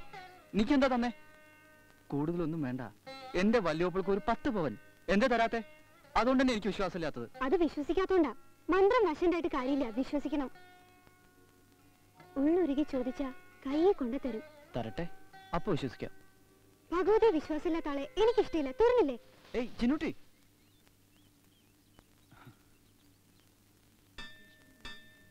എവിടെയായിരുന്നു? ഒരു മുങ്ങ മുങ്ങിയിട്ട് ദിവസം എത്രയെന്നറിയോ കുറേ ദിവസമായി തൊണ്ടയിലൊരു വേദന. വൈദ്യരെ കഷായം കുടിച്ചിട്ടൊന്നും ഒരു ഭേദവുമില്ല ഉള്ളതൊക്കെ തരട്ടിപ്പറക്കി തിരുവനന്തപുരത്തൊന്ന് പോയി. തൊണ്ടയിൽ ക്യാൻസർ ആത്രേ. മുട്ടിയിരിക്കുന്നു. ചികിത്സിച്ചിട്ട് വലിയ പ്രയോജനമില്ല എന്നാ പറഞ്ഞത്. അഥവാ ഉണ്ടച്ചാലും അതിനുള്ള കാശുമില്ല. ചിന്നുട്ടി പറഞ്ഞ നേരം. അവസരം ഭഗവതിക്ക് ഇഷ്ടമുണ്ടാവില്ല. അതിനൊന്ന് ശിക്ഷയാവും. നാരായണൻകുട്ടിയേട്ടാ ഞാൻ വല്ലതും പറഞ്ഞു വെച്ചിട്ട് ഭേദാവും. അവസാനത്തെ അത് കഴിഞ്ഞ് ഇത് നടയിൽ വെക്കണം.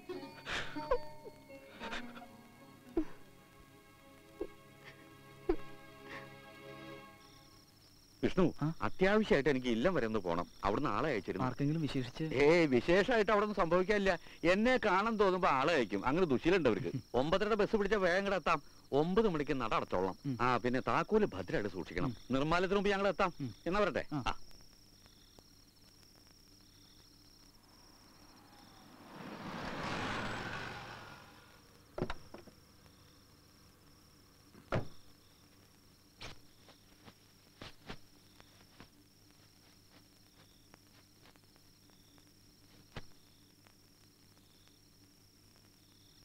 തിരുവനി ഒന്ന് തൊഴണം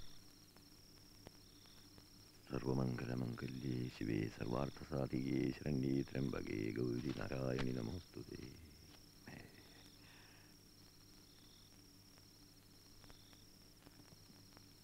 അല്ല വലിയ തിരുമേനില്ലേ ഇല്ലത്ത് പോയിരിക്കാം. തിരുവനന്തപുരത്ത് ഒരാഴ്ച തങ്ങേണ്ടി വന്നു എന്ന് മാത്രം പോയ കാര്യം നടന്നു. ഒക്കെ ഭഗവതിയുടെ അനുഗ്രഹം. നമ്മുടെ ജുവലറിയിൽ ഈ വർഷം നല്ല ലാഭമായിരുന്നു. അതിന്റെ ഒരു വിഹിതം ഭഗവതിക്ക് കൊടുക്കുന്ന പതിവുണ്ട് ഭഗവതിക്ക് ഒരാഭരണ ചാർത്ത് പുതിയ ജുവലറി തുറന്നപ്പോൾ നേർന്നതാ. ഇത് വലിയ തിരുമേനി ഏൽപ്പിക്കണം. ശരി. രാവിലെ നടയെ വെച്ച് പൂജിക്കുക.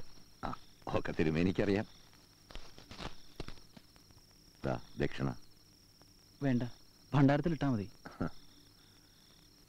ഏതായാലും കൊടുക്കാനെടുത്ത നോട്ട് പോക്കറ്റിലിടുന്ന ശീലം മാധവമേനും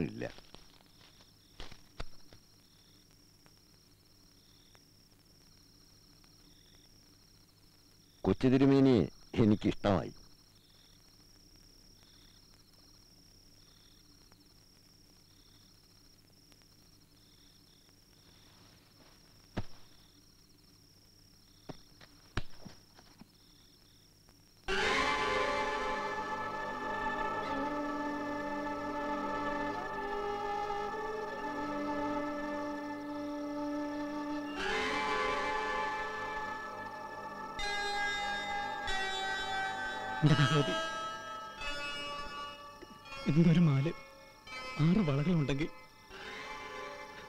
എന്റെ വല്ലപ്പോളെ അയക്കാം. അത് ഞാൻ എടുത്തോട്ടെ.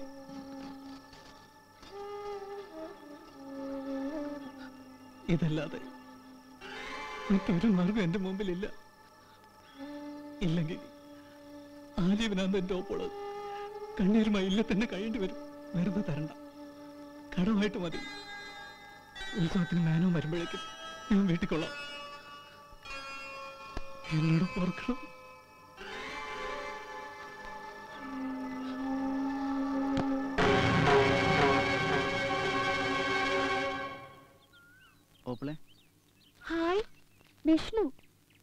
വിഷ്ണു നീ ക്ഷീണിച്ചു പോയല്ലോടാ. നേരെ ചുമന ആഹാരം കഴിക്കുന്നില്ലേ? ഓ ഓപ്പിളെ വിഷ്ണു വന്നു. അവിടെയും വല്ല കുർത്തക്കേടും കാണിച്ച് പിരിച്ചു വിട്ടോ നിന്നെ. അച്ഛൻ പറഞ്ഞത് പാഴുവാക്കാവില്ല.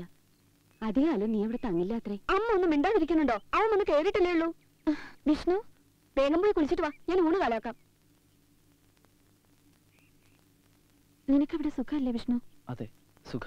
നീ എന്താ പോന്നേ? ലീവാ? അല്ല ദീപാരാധനയ്ക്ക് മുമ്പ് അങ്ങോട്ട് എത്തണം അതിനു മുമ്പ് ഓപ്പളെ കാരക്കാട്ട് കൊണ്ടാക്കണം വേഗം ഒരുങ്ങിക്കോളൂ.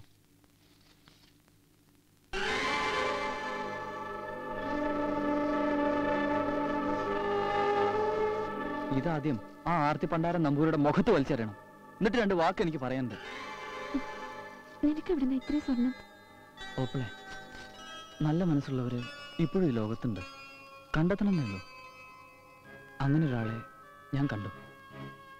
എന്റെ വലിയപ്പുള്ള കഥ ഉള്ളലിഞ്ഞ് പറഞ്ഞപ്പോൾ ഉരുകിയിട്ടുണ്ടാവും. ഒരു മടിയില്ലാതെ എടുത്തു തന്നു.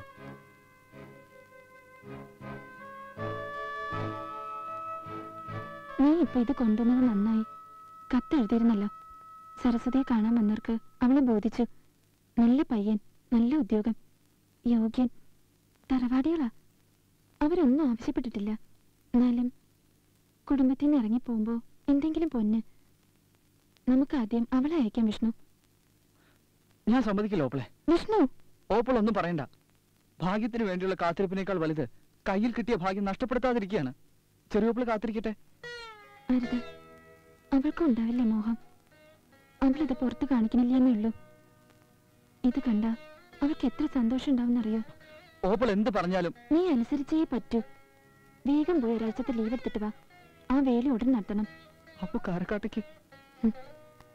എനിക്കങ്ങനെ പറയാനൊരിടമുണ്ടല്ലോ. ചൂണ്ടിക്കാണിക്കാനൊരു ഭർത്താവ്. വേലി കഴിച്ചതിന് തെളിവായിട്ട് കഴുത്തിലൊരു താലിയും. ഇത്രയൊക്കെ പോരെ.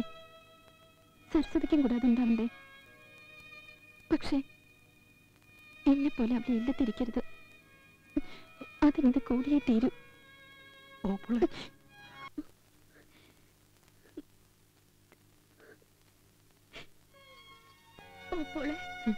വലിയൊരു കുടുംബത്തിലേക്കാണ് നീ പോണത്. നിന്റെ അടുത്ത് നിന്ന് തെറ്റായ ഒരു വാക്കോ പ്രവൃത്തിയോ ഉണ്ടാവരുത്. ഇനി എന്തെങ്കിലും അഹിതമായിട്ടുണ്ടായ ക്ഷമ. ക്ഷമിക്കുക.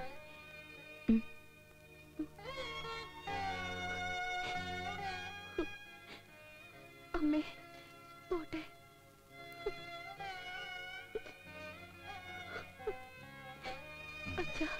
സന്തോഷായിട്ട് ഇറങ്ങുമോളെ മോക്ക് നല്ലതേ വരൂ.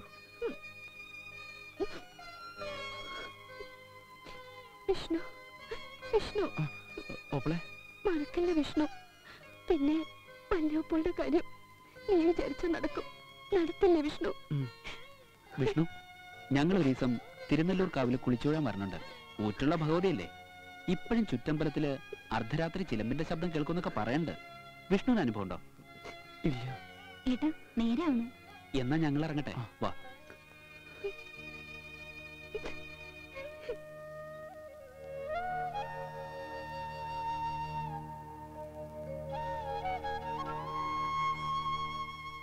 എന്നെ കൊണ്ട് കഴിയാഞ്ഞത് നിനക്ക് കഴിഞ്ഞു. നിന്നെക്കുറിച്ചിപ്പോ എനിക്ക് അഭിമാനം തോന്നുന്നു. പത്ത് പവൻ ഒരു മാസത്തിനുള്ളിൽ ആരെങ്കിലും സഹായിച്ചതാവാം. ഒന്നും കാണാതെ സഹായിക്കില്ലല്ലോ. ഒന്നേ എനിക്ക് പറയാനുള്ളൂ. നേരുണ്ടാവണം. നീ ഭദ്രകാളിക്ക് പൂജ കഴിക്കുന്ന ശാന്തിക്കാരനാ. ചെറിയൊരു പിഴവ് മതി. തിരിച്ചടിക്കും.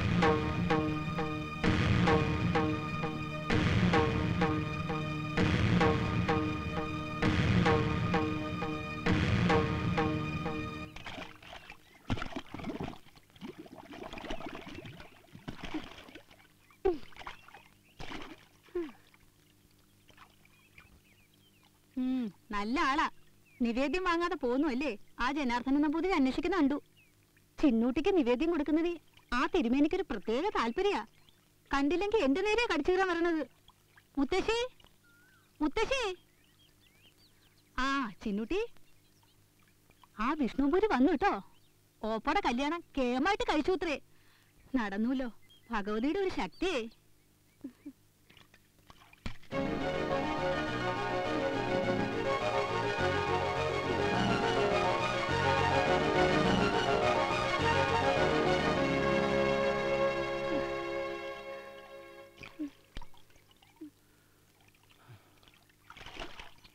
ചിന്നൂട്ടി? ഞാൻ മിണ്ടില്ല. എന്താ എന്നോട് പറയാതെ പോയത്? ഓപ്പോളുടെ കല്യാണത്തിന് ക്ഷണിക്കാൻ തോന്നില്ലല്ലോ മനഃപൂർവമല്ല. ഒക്കെ പെട്ടെന്നായിരുന്നു. സോറി ചിന്നുട്ടി. ഇപ്പൊ എന്റെ ഭഗവതി വിശ്വാസായില്ലേ. വേഗം നേർച്ച കഴിച്ചോളൂ എന്താ ആലോചിക്കണേ? കാര്യം കഴിഞ്ഞല്ലോ. ഇനി വേണ്ടാന്ന് തോന്നലുണ്ടാവും. ഭഗവതി അടുത്ത് മാത്രം കളിക്കരുതേ. കളി പഠിക്കും. അങ്ങനെ ആർക്കെങ്കിലും അനുഭവം ഉണ്ടായിട്ടുണ്ടോ? ഉണ്ടോന്ന് ഇതിനാ അധികം പോണത്? നമ്മുടെ ചക്കാലത്തെ തങ്കമണിയുടെ കാര്യം എടുത്താൽ മതിയല്ലോ. വലിയ ഗമയിൽ അവൾ നേർന്നു. അവളുടെ ജേഴ്സി പശു പ്രസവിച്ച ഒരു ചുറ്റുവിളക്ക് പ്രസവിക്കുകയും ചെയ്തു. കൊട കണക്കിന് പാലിട്ടാൻ തുടങ്ങിയപ്പോ അവൾ ഭഗവതിയുടെ കാര്യം മറന്നു. അപ്പൊ കൊടുത്തില്ലേ? ഒന്നും ഉണ്ടായില്ല. രാവിലെ കറക്കാൻ ചെന്നപ്പോഴാ കണ്ടത് കുട്ടി ഡിം പിന്നെ നെഞ്ചത്തടിച്ച് നിലവിളിച്ചിട്ട് എന്താ കാര്യം? എന്ത്? പറഞ്ഞത് വിഷമായോ നേർച്ച കഴിക്കാം. പണം ഇല്ല ഞാൻ തരാം. എന്റെ കയ്യിലില്ല. ഉള്ളതൊക്കെ പോസ്റ്റ് ഓഫീസിലാ. പിന്നെ കൊടുക്കേനുണ്ട്. അത് ഞാൻ പൊട്ടിക്കില്ല. ഒരു കാര്യത്തിന് വെച്ചിരിക്കുക നേരമാണിക്ക് അൻപത്തൊന്ന് ഉറുപ്പിക്കില്ലേ ആവുള്ളൂ. മുത്തശ്ശിയുടെ വെറ്റിലച്ചെല്ലത്തിലുണ്ടാവും. അതിന് ഞാൻ എസ്കാം ഞാനങ്ങനെ എസ്കിട്ടുണ്ടേ അതൊന്നും വേണ്ട. ഞാൻ കഴിച്ചോളാം. ചിന്നുട്ടിക്ക് എന്നോട് അത്രയ്ക്ക് ഇഷ്ടമല്ലേ? എന്തോ? ചിന്നുട്ടിയുടെ സംസാരം കേൾക്കുമ്പോൾ മനസ്സിലെ ഭാരം ഇറക്കി വെക്കുന്ന പോലെ. എനിക്ക് ചിന്നുട്ടി ഇഷ്ടമായി വേണ്ടാത്തൊന്നും പറയണ്ട കേട്ടോ.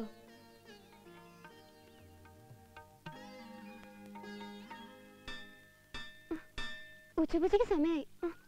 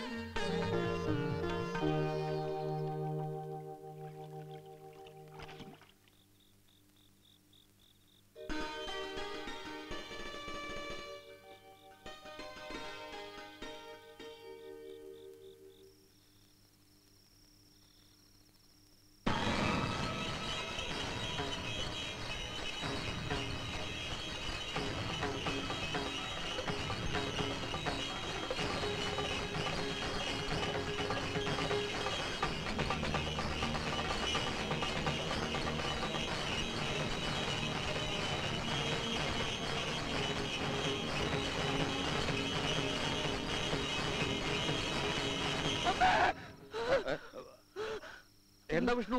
വല്ല ദുസ്വപ്നം കണ്ടോ? ഭഗവതി ധ്യാനിച്ച് കിടന്നോളൂ.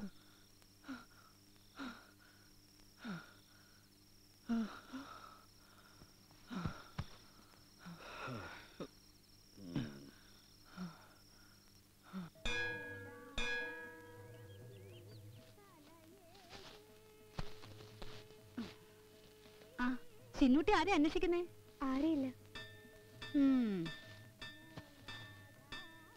എല്ലാം നേരെയാവും കേട്ടോ ചെന്നുട്ടി വരിക. തീർത്ഥം വേണ്ടേ?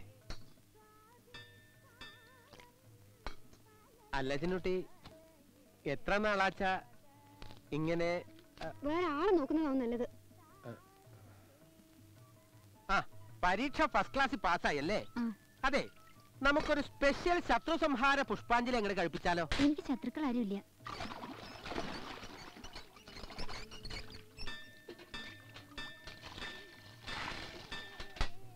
ചീത്തയല്ലേ ശാന്തിക്കാരനായിട്ട് ഛേ. എനിക്ക് ചിന്നൂട്ടിയുടെ അല്പം സംസാരിക്കാനുണ്ടായിരുന്നു. വേണ്ട. ഇതൊക്കെ തെറ്റാട്ടോ. അതൊന്നുമല്ല. മനസ്സ് തുറന്നൊന്ന് സംസാരിക്കണം. ഞാനിനി കുളക്കടവിലേക്ക് വരില്ല. തോന്നിയാസം കാണിക്കാനല്ലേ? ചിന്നൂട്ടി എന്നോട് പിണങ്ങിയോ? അത്രയ്ക്ക് അത്യാവശ്യമാണെങ്കിൽ ഞാൻ ആൽത്തറയിലുണ്ടാവും. അധികം നേരൊന്നും കാത്തേക്കില്ല എനിക്ക് അങ്ങനെ ഓരോരുത്തരോട് സംസാരിച്ചിരിക്കാനൊന്നും സമയമില്ല.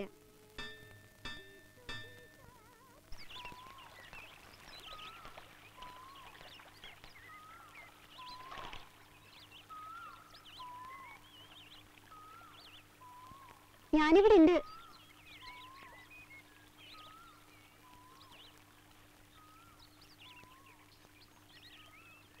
പറയാനുള്ള എന്താ വെച്ചാ വേഗം പറയാ. എനിക്ക് തിരക്കുണ്ട്. പിന്നെ അവിടെ നിന്ന് പറഞ്ഞാ മതി. ഇത്ര ഗൗരവമാണ് ഞാൻ പറയണില്ല. തീർന്നില്ലേ? ഞാൻ പറയണ്ട.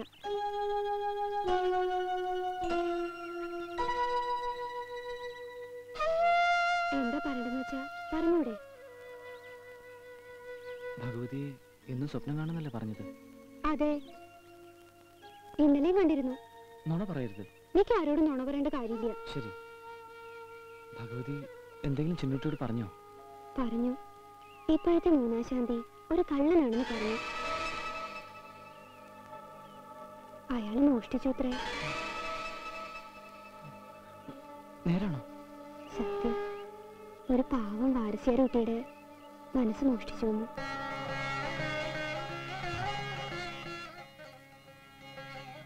ഭഗവതിക്ക് അത് ഇഷ്ടായിന്നാ പറഞ്ഞു.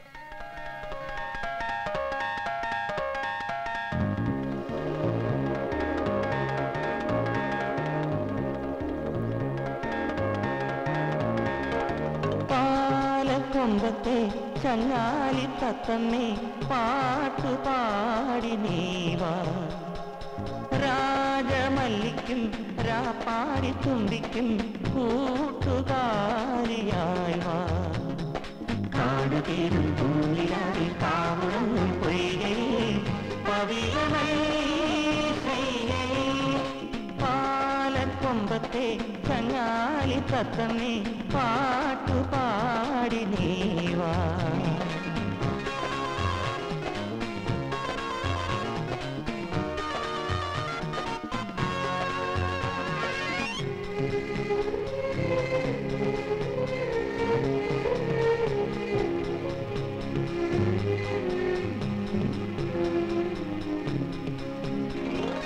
ഒത്തിരി നെഞ്ചിലെ ഒത്തിരി വ്യാമോഹം താനേ പുത്തരി പൊങ്കാലച്ചോറുണ്ണും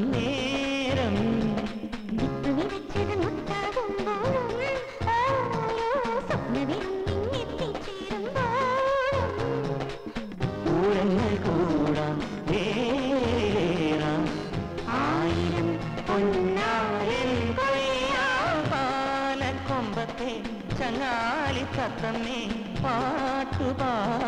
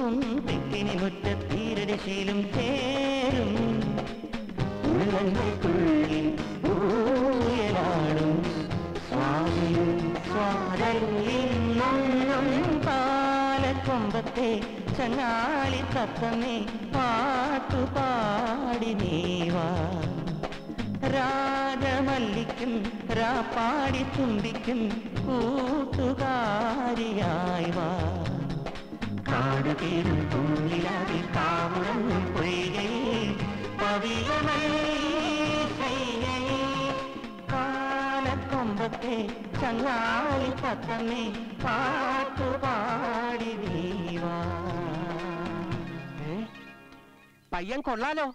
കേറി കേറി മുറത്തി കൊത്താൻ തുടങ്ങിയില്ലേ? അത്രയ്ക്ക് അങ്ങനെ കിഴക്കോട്ട് പോണോ? വേണ്ട. താൻ ഇവിടത്തെ മൂന്നാം ശാന്തിക്കാരനാ. ഞാൻ രണ്ടാമൻ. താൻ ഇവിടെ വന്നിട്ട് കഷ്ടി ഒന്നര മാസമായുള്ളൂ ഞാൻ അഞ്ചു കൊല്ലായി.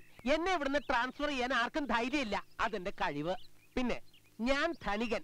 താൻ ദരിദ്രനാ. ഇനിയുണ്ട് വ്യത്യാസം? താൻ ഒറിജിനൽ നമ്പൂതിരിയാ. ഞാൻ ഡ്യൂപ്ലിക്കേറ്റ് അതുകൊണ്ട് എനിക്ക് മേലും കീഴും നോക്കാനില്ല. ഉണ്ണി വെറുതെ തടി കേടാക്കണോ? ശാന്തി ജോലി മാത്രമല്ല കളരിയും വശണ്ടേ. ഒരു മിനിറ്റ്. മിനിറ്റിന് ഇപ്പൊ എന്താ? ഏ? ഒരു വ്യത്യാസം കൂടി ഉണ്ട്. എന്താ അത് ഞാൻ തറവാട്. താൻ ചെറ്റ. ശരിയാ. ഏ? നീ എന്താ പറഞ്ഞത്? ഒന്ന് കടന്നു പോടോ. കാണിച്ചു തരണം കേട്ടോ അല്ല പിന്നെ.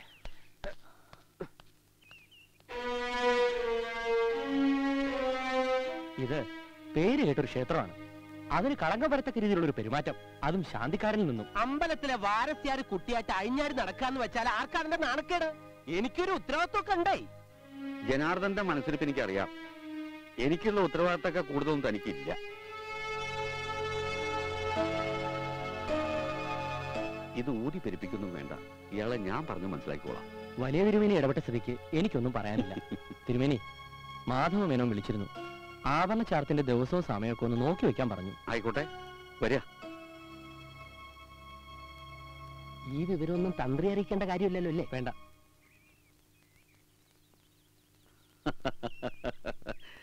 സാരല്ലടോ ചാപല്ലേ എല്ലാവർക്കും ഉണ്ടാവും. പ്രായതല്ലേ? ശാന്തിക്കാരന് വാരസ്യാരെ കുട്ടിയെടുത്ത് ആയിക്കൂടാതൊന്നുമില്ല അതിലൊരു തെറ്റുമില്ല. പക്ഷേ അവൾക്ക് പുടവ കൊടുക്കണം. പാവാ കുട്ടി. ഞാനുണ്ടോ തന്റെ കൂടെ? വരിക.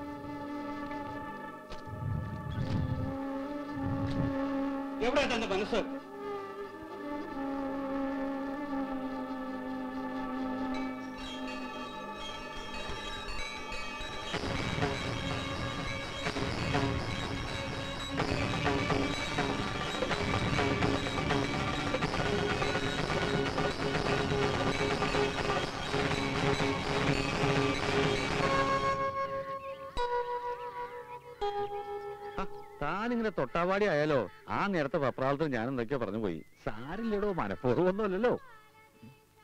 ഈ കട്ടൻ കാപ്പി കുടിച്ചോളൂ. ഡോക്ടർക്ക് ആളെ അയക്കണോ? അതൊന്നും വേണ്ട. ഇന്ന് കൊടിയേറുന്ന ദിവസാ. ഇയാളെ ഇവിടെ ഇങ്ങനെ വിട്ടിട്ട് പോവാനും മനസ്സ് വരുന്നില്ല. തിരുമേനി പോയിക്കോളൂ. എനിക്കൊന്നുമില്ല. വിഷമിക്കൊന്നുമില്ല മരുന്നുമായിട്ട് ആളിപ്പോ എത്തും. അതാരാവോ? നമ്മുടെ ചിന്നൂട്ടി അല്ലാണ്ട് ആ, ആരാ? അപ്പൊ പനിക്ക് അല്പം ആശ്വാസം കിട്ടും. ആ പറഞ്ഞു നാവെടുത്തോളൂ ഇതാ ആ പായസത്തിനുള്ള ഉള്ളി തേച്ച് കമത്തിയ പോലെയാണീ ഇല്ല ഞാൻ ഇപ്പൊ വരാം. ആ അങ്ങോട്ട് വരൂ. ഇത് വേണ്ട.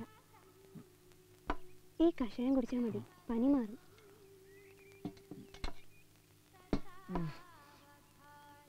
ഇനി ഉറങ്ങിക്കോളൂ. ഉച്ചയ്ക്ക് ഞാൻ പൊടിയരിക്കഞ്ഞ് കൊണ്ടുവരാം. ചിന്നുട്ടി കുറച്ച് ദിവസമായി ഞാൻ മനസ്സിൽ കിടന്ന് വീർപ്പ് മുട്ടുക. എനിക്ക് ആരോടെങ്കിലും അത് തുറന്ന് പറയണം. ഞാനൊരു തെറ്റ് ചെയ്തു പോയി. പൊറുക്കാനാവാത്ത തെറ്റ്. തെറ്റാന്ന് തോന്നിയില്ല. ഇപ്പോഴും തെറ്റല്ലാന്ന് തന്നെ മനസ്സ് പറയണേ. എന്താച്ചാലും എന്നോട് പറഞ്ഞോളൂ. മാധവമേനോൻ ആഭരണം ചേർത്ത് തന്ന പണ്ടപ്പെട്ടിന്ന് ഒരു മാലയും ആറു വളകളും ഞാൻ എടുത്തു എന്റെ ഓപ്പൾക്ക് വേണ്ടി. സത്യം മോഷ്ടിച്ചതല്ല തിരിച്ചു വയ്ക്കാൻ തന്നെ കരുതി. ദിവസങ്ങൾ എടുക്കുന്തോറും ഒരാധി.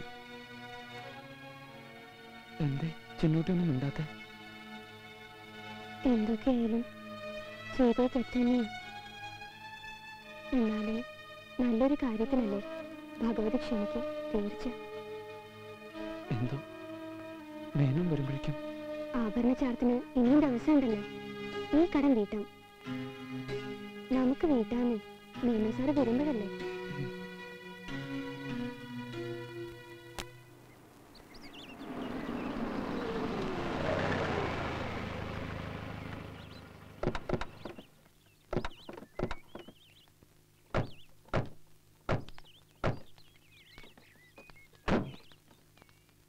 Good morning sir. വെൽക്കം. സാറിന്റെ പതിവ് റൂം റെഡി ആയിട്ടുണ്ട്. താങ്ക് യു വാ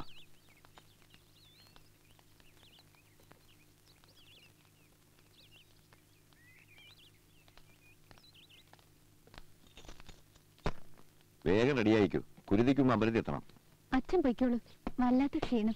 ഞാൻ രാവിലെ തൊഴുതോളാം. എന്നാ മോൾ റെസ്റ്റ് എടുത്തോ? ഞാനൊന്ന് കുളിച്ച് റെഡിയാവട്ടെ.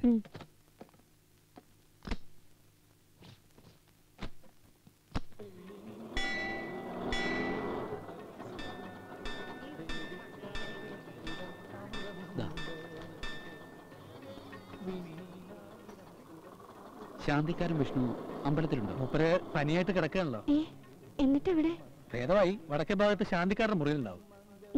വിഷ്ണുവിനെ ഒന്ന് കാണാം. ഏതായാലും ഒന്ന് തൊഴുതിട്ട് പോവാം. വഴിപാടൊക്കെ വിഷ്ണുവിനെ കണ്ടിട്ട് മതി.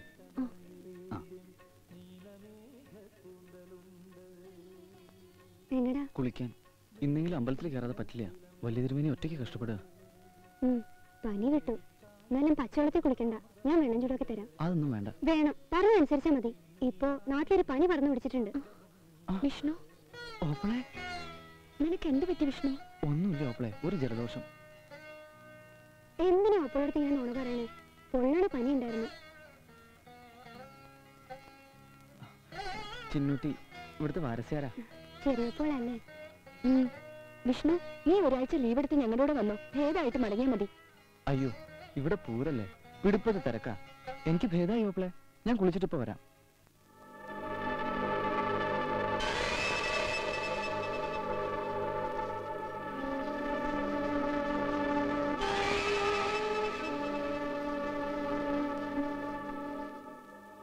എന്താ വിഷ്ണു? നിനക്ക് എന്താ പറ്റിയേ? ഒന്നുമില്ല. വിഷ്ണു വഴിപാട് കഴിക്കണമല്ലോ. അവിടെ വല്ലാത്ത ക്യൂ.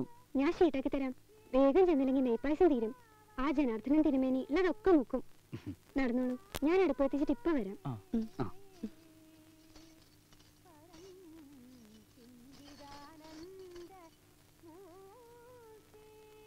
ആ കയറ്റി കിടക്കണതാ? ചോദിച്ചാലോ? തരാതിരിക്കില്ല. അത് വേണ്ട. വേറെന്തെങ്കിലും വഴിയുണ്ടാവും? സാർ സാർ ഇവിടെ എത്തി എന്നറിഞ്ഞപ്പോ തന്നെ സ്പെഷ്യൽ പൂജ കഴിച്ച പ്രസാദം ഒരുക്കി വെച്ചു. അപ്പൊ ഞാനിവിടെ എത്തിയാലേ എന്നെ കുറിച്ച് ഓർക്കൂന്നർത്ഥം ഏയ് എപ്പോഴും ഓർക്കും. സാറിന്റെ ഉയർച്ചയ്ക്ക് വേണ്ടി ഞാൻ ഭഗവതിയോട് പ്രാർത്ഥിക്കും. അതുകൊണ്ടല്ലേ ഈ വച്ചടി വച്ചടി കയറ്റം. സ്വർണത്തിന്റെ വില അങ്ങോട്ട് കൂടിക്കൊണ്ടിരിക്കല്ലേ എല്ലാ മംഗളങ്ങളും വരും ഉം. ഓ, ഓ. ഇതാ ഷീട്ട്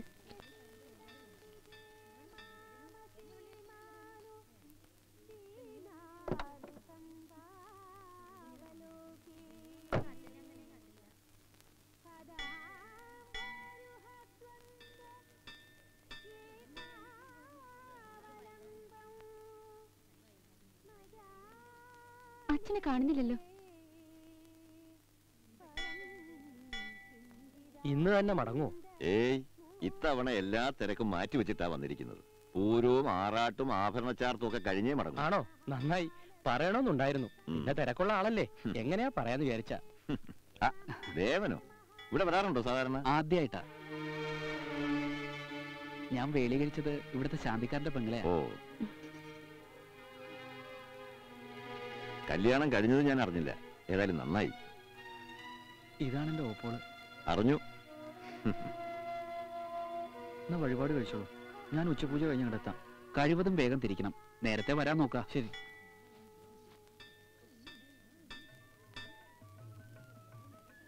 ആ മേനോൻ സാറിന് അളിയനെ പരിചയമുണ്ടെന്ന് തോന്നുന്നു.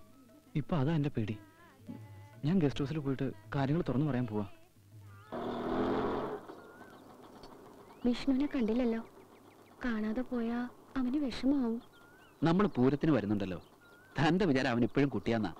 അവനാ വാരസ്യാര കുട്ടിയായിട്ടൊരു ലൈനുണ്ട്. എന്റെ അനിയനെ പറ്റി വേണ്ടാത്തൊന്നും പറയണ്ട കേട്ടോ. അവനൊരു പാവ.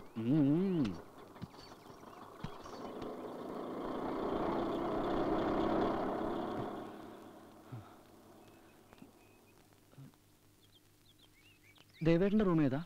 ഇപ്പൊ പോയുള്ളൂ തിരുമേനിയെ കുറഞ്ഞേരം കാത്തിരുന്നു. വിഷ്ണു? ഒരു മിനിറ്റ്. നോ. തന്റെ എക്സ്പ്ലനേഷൻ ഒന്നും കേൾക്കണ്ട. തന്നെ പോലുള്ള ഒരു ഗുണ്ടയെ ഈ കോളേജിൽ വച്ചു പൊറപ്പിക്കാൻ സാധ്യമല്ല. ഗെറ്റ് ഔട്ട്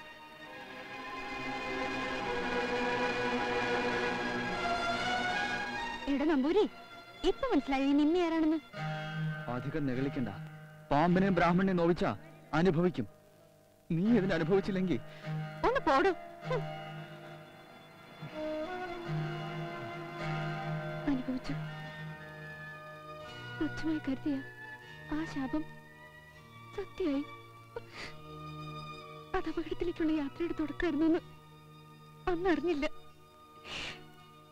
ഈ കൺമുന്നിൽ പിടഞ്ഞ് പിടഞ്ഞ് എന്റെ അമ്മ പോയി. അനുഭവിക്കാൻ എന്നെ ബാക്കി നിർത്തിയിട്ട് ഓർക്കാനാവാത്ത തെറ്റാ ഞാൻ ചെയ്തത്. കൈകൂപ്പി മാപ്പ് അപേക്ഷിക്കണമെന്നുണ്ട്. പക്ഷെ കഴിയില്ലല്ലോ വിഷ്ണു.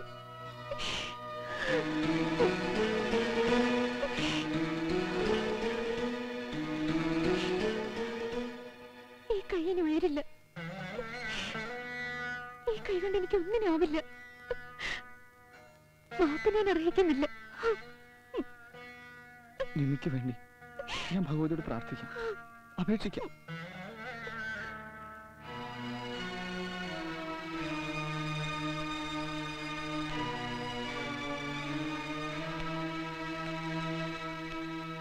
എന്താ മോളെ? ആ തിരുമേനി മോൾ അറിയൂ? കോളേജിൽ എന്റെ കൂടെ പഠിച്ചിരുന്ന ഒരു നമ്പൂരി കുട്ടിയെ പറ്റി പറഞ്ഞിട്ടില്ലേ? ആ കുട്ടിയെ.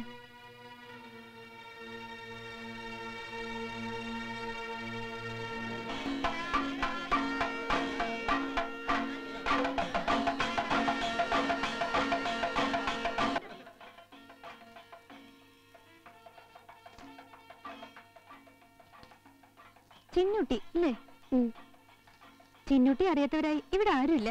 വന്ന രണ്ടു ദിവസത്തിനുള്ളിൽ എനിക്കിത് മനസ്സിലായി. ആട്ടെ എന്ത് ചെയ്യുന്നു? കണ്ടൂടെ വാരസ്യാർക്ക് വേറെന്താ പണി? ഒരു സംശയം ചോദിച്ചോട്ടെ. റോസും ഡാലിയൊക്കെ വെച്ച് പിടിപ്പിച്ച ഇങ്ങനെ ബുദ്ധിമുട്ടുണ്ടല്ലോ. മാല കിട്ടിയ നല്ല ഭംഗിയുണ്ടാവും അതൊക്കെ പൂജയ്ക്ക് എടുക്കാത്ത പൂക്കളാ. മനുഷ്യരുണ്ടാക്കിയ നിയമങ്ങളല്ലേ? പൂക്കളിൽ എന്താ വ്യത്യാസം? ഇന്ന് മിക്ക ആവശ്യം തെച്ചിയും ചെമ്പരത്തിയും നന്ദിയാർവട്ടവും കൂവളത്തിനെയും ഒക്കെ എന്താ പ്രശ്നം? ഒരു ചെറിയ തർക്കം. ചിന്നൂട്ടി പറയാ റോസിന്റെ അലിയൊന്നും പൂജയ്ക്ക് എടുക്കാത്ത പൂക്കളാന്ന്. അതിൽ എന്ത് ലോജിക്കാന്ന് എനിക്ക് മനസ്സിലാവുന്നില്ല. ഞാൻ പറയാം. മാളിക മുകളിലുള്ളവർക്ക് അതറിയില്ല അറിയില്ല. അതൊന്നും ഭഗവതിക്ക് ഇഷ്ടമില്ല. അത്ര തന്നെ. ഭഗവതിക്ക് അങ്ങനെ ഇഷ്ടം ഇഷ്ടക്കേടൊക്കെ ഉണ്ടോ? സംശയം എന്താ? പണം വാരിയെറിഞ്ഞ് ഭഗവതിയെ പാട്ടിലാക്കാന്ന് ചിലർക്കൊക്കെ തോന്നലുണ്ടാവും.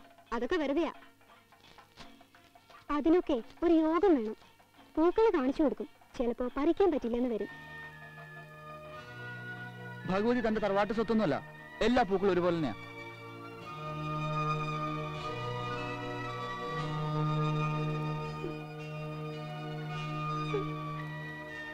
കുട്ടിയെ വേദനിപ്പിക്കണ്ടായിരുന്നു. പോട്ടെ. വിഷ്ണു ഇങ്ങനൊരു കൂടിക്കാഴ്ച ഞാൻ പ്രതീക്ഷിച്ചില്ല. എന്നെങ്കിലും കണ്ടുമുട്ടണമെന്ന് ആഗ്രഹിച്ചിരുന്നു. ഇവിടെ വെച്ച് നിമിത്തം അല്ലാതെന്താ പറയാ? അതുമില്ലെങ്കിൽ എന്റെ ഭാഗ്യം. ശരിയായിരിക്കാം. നിമ്മയെ കുറിച്ചുള്ള എന്റെ ധാരണയൊക്കെ തെറ്റായില്ലേ? തിരുത്താൻ കഴിഞ്ഞല്ലോ ഭഗവതിയുടെ അനുഗ്രഹം. പോട്ടെ തിരക്കുണ്ട്.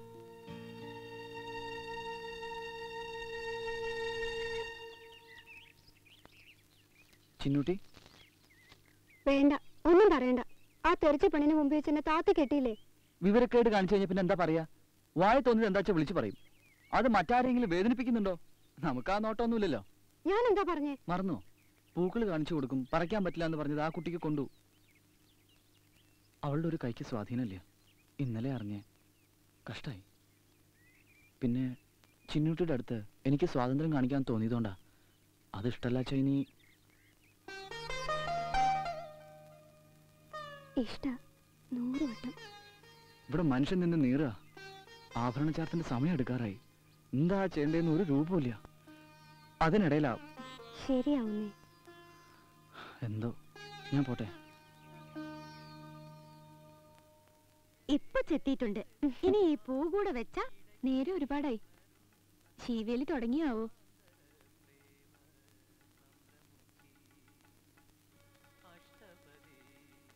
അച്ഛ? പോണ്ടേ? Hi. Now you look cheerful എന്നും അച്ഛൻ ഇങ്ങനെ കാണണം. ഒക്കെ ഭഗവതിയുടെ അനുഗ്രഹമാ. അഞ്ച് മിനിറ്റിൽ ഞാൻ വരാം. ഉം?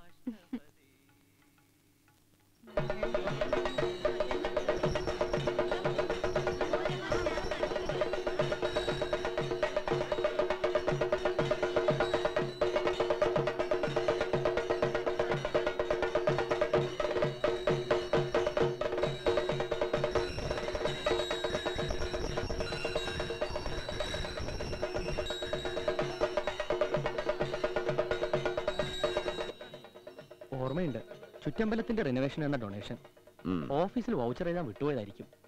നാളെ എത്തിക്കാം. ഹേയ് തിരക്കൊന്നുമില്ല. ഭഗവതിക്ക് കൊടുത്തതിന്റെ കണക്ക് പറയല്ല. ഇനി എത്ര കൊടുക്കാനും എനിക്കൊരു മടിയില്ലെന്നറിയാലോ? അതെ അതെ. എന്നാലും ആറ്റി കളഞ്ഞാലും അളന്ന് കളയണം എന്ന പ്രമാണം. ശരിയാ. ആ ദീപാരാധനയ്ക്ക് സമയമായി. ശരി.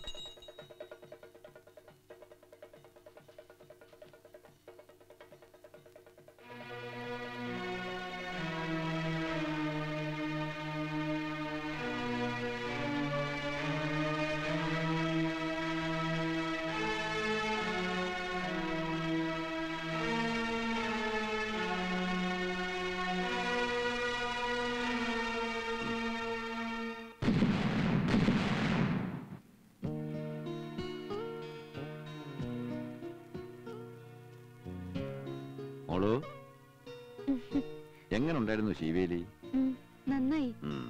മോൾ മോൾക്കീടായിട്ട് ഭക്തി കുറേശ്ശെ തുടങ്ങിയിട്ടുണ്ടല്ലേ? അച്ഛന്റെ അത്രയില്ല എന്നാലുണ്ട്. എന്നോട് വേണോ എന്റെ നിമ്മിക്കുട്ടി?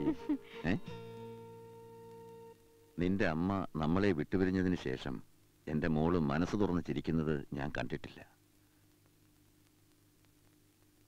എനിക്ക് വേണ്ടി എന്റെ സന്തോഷത്തിനു വേണ്ടി അഭിനയിക്കായിരുന്നു എന്നറിയാം.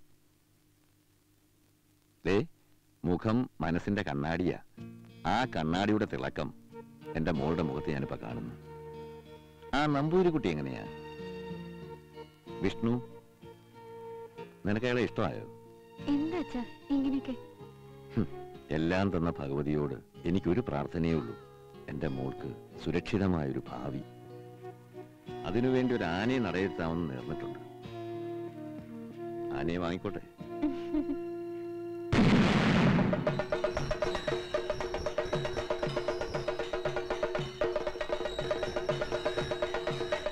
മേനോ സാറ് അത്യാവശ്യമായിട്ടൊന്ന് കാണണമെന്ന് പറഞ്ഞു. എന്താ കാര്യം? അറിയില്ല. ഉച്ചപൂജ കഴിഞ്ഞ് മതിയെന്നാ പറഞ്ഞു.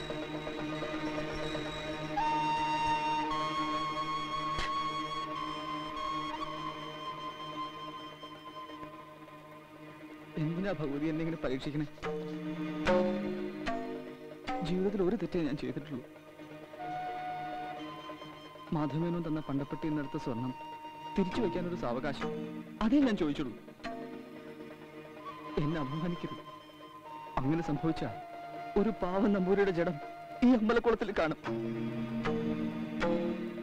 സത്യം.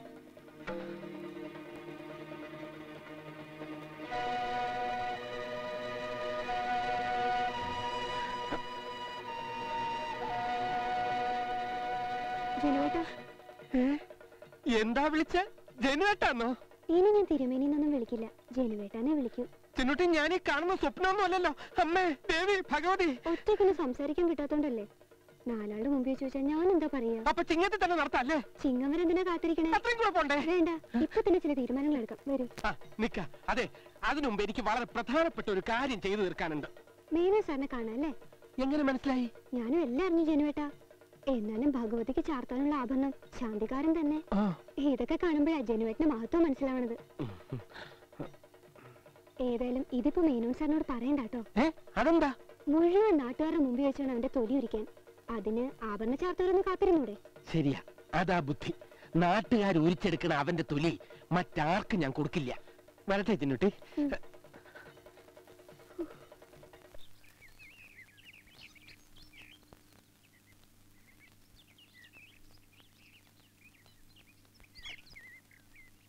മേനോൻ സാറ്.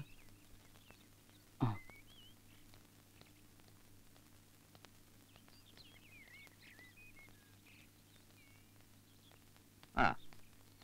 ഇതൂടെ. ഇതൂടെ ഇതൂടെ മതി. ആ. നിർബന്ധിച്ച് കഴിപ്പിച്ചില്ലെങ്കിൽ അവൾ ഗ്ലാസ് വെള്ളത്തിൽ നിർത്തും. ഡയറ്റിംഗ് ആണത്രേ വാ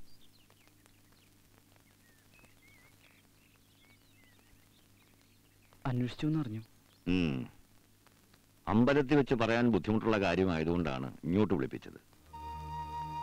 തിരുമിനി ആ വിളിയിൽ ഒരു ഇന്റിമസി ഇല്ല? വിരോധമില്ലെങ്കിൽ വിഷ്ണു എന്ന്? അതാ എനിക്കിഷ്ടം. ആ. വാരിക്കോരി പണം ചെലവാക്കുന്നവൻ ധാരാളി എന്നൊക്കെയാവും എന്നെ കുറിച്ച് കേട്ടിട്ടുണ്ടാവുക. തോന്നല അറിഞ്ഞുകൊണ്ട് ലക്ഷങ്ങൾ വലിച്ചെറിയും. പക്ഷെ ഒരു രൂപ ഒരു രൂപയ്ക്ക് എന്നെ കളിപ്പിച്ചു എന്നറിഞ്ഞാൽ ഞാൻ വെറുതെ വിടില്ല. അത്രയ്ക്ക് അധ്വാനിച്ചുണ്ടാക്കിയതാ. അത് കാത്തു സൂക്ഷിക്കുന്നത് എന്റെ മോൾക്ക് വേണ്ടിയാ. വീട്ടിലാരൊക്കെ ഉണ്ട്? ആ ബി ഫ്രീ. ധൈര്യമായിട്ട് പറഞ്ഞോളൂ. അച്ഛൻ ഒരു യാഥാസ്ഥിതികനാ. അമ്മ അകത്തേമാന്നാ ഞങ്ങൾ പറയാറ്. പുറം ലോകം അറിയില്ല. ചെറിയപ്പോഴുള്ള വേളി കഴിഞ്ഞു. പിന്നെ വലിയപ്പോൾ എന്താ വല്യപ്പോളിന്റെ വിവാഹം കഴിഞ്ഞില്ലേ? കഴിഞ്ഞു. ഇപ്പോഴും ഇല്ലാതിരിക്കുക പറഞ്ഞേക്കണെങ്കിൽ കുറച്ച് സ്വർണം. ഞങ്ങൾ പാവങ്ങളാ സാർ. അയ്യേ. എന്താ വിഷ്ണു ഇത്? പണം ഒരു ഇന്ദ്രജാലക്കാരന്. ഒരു നിമിഷം മതി അത് നേടാനും നഷ്ടപ്പെടാനും. പക്ഷെ മൂല്യം അതുണ്ടെന്ന് തോന്നിയത് കൊണ്ടാ ഞാൻ ഇത്രയും സംസാരിച്ചത്. വിഷ്ണുവിനെ ഇവിടെ വെച്ച് കാണാൻ കഴിഞ്ഞത് ഒരു ഭാഗ്യമായിട്ടാണ് ഞാൻ കരുതുന്നത്. നിമ്മി എല്ലാം എന്നോട് പറഞ്ഞു. അന്ന് കോളേജിൽ വെച്ച് വിഷ്ണു അവളോട് പറഞ്ഞ വാക്കുകൾ അതിനവൾ പ്രതികരിച്ച രീതി ഒരുപാട് അനർത്ഥങ്ങൾ ഉണ്ടായി ഇന്ന് അതിന് അർത്ഥങ്ങൾ ഉണ്ടാക്കാൻ അവൾ ആഗ്രഹിക്കുന്നു.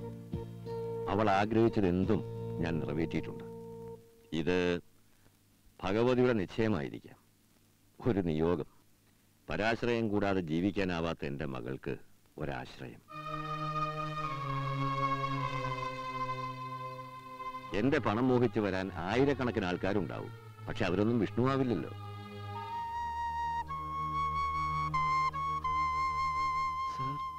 ആലോചിച്ചു പറഞ്ഞാ മതി. പ്രതീക്ഷയോടെ കാത്തിരിക്കും. ആഭരണ ചാർത്ത് കഴിഞ്ഞ് മടങ്ങുന്നതിന് മുമ്പ്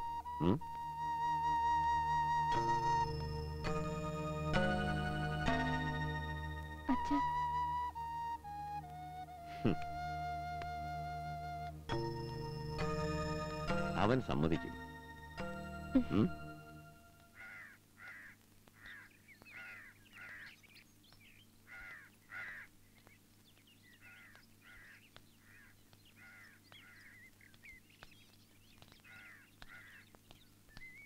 തിരുമേനിയുണ്ടോ?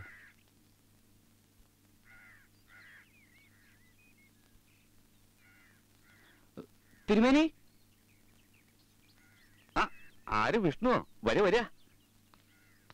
എന്റെ മന എങ്ങനെ കണ്ടുപിടിച്ചു? അത്യാവശ്യമായിട്ട് ഇങ്ങോട്ട് പോകുന്നു അറിഞ്ഞു എന്തോടോ അവിടെ വല്ല പ്രശ്നവും ഇല്ല. പ്രശ്നം എനിക്കാ. തിരുമേനി അതിനൊരു പോംവഴി പറഞ്ഞിരുന്നുള്ള വിശ്വാസത്തിലാ ഞാനിങ്ങോട്ട് വന്നത്. ഞാനാകെ ധർമ്മസങ്കടത്തിലാ തിരുമേനി. സങ്കടമൊക്കെ നമുക്ക് തീർക്കാടോ? വരാ. ആദ്യമായിട്ട് വരല്ലേ? എന്റെ കുടുംബം ഒന്ന് പരിചയപ്പെടുക. ഇത് മൂത്ത കുട്ടി രാജേശ്വരി. ഇത് രണ്ടാമത്തെ മഹാദേവൻ. അമ്മ തന്ന വരദാന.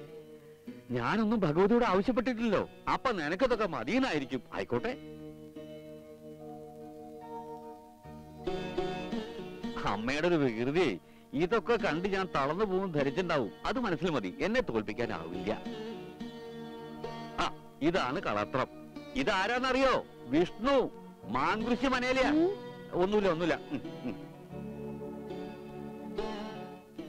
വിഷ്ണു മൂത്തോളെ പ്രസവിക്കണ വരെ ഒരു കുഴപ്പമില്ലായിരുന്നു.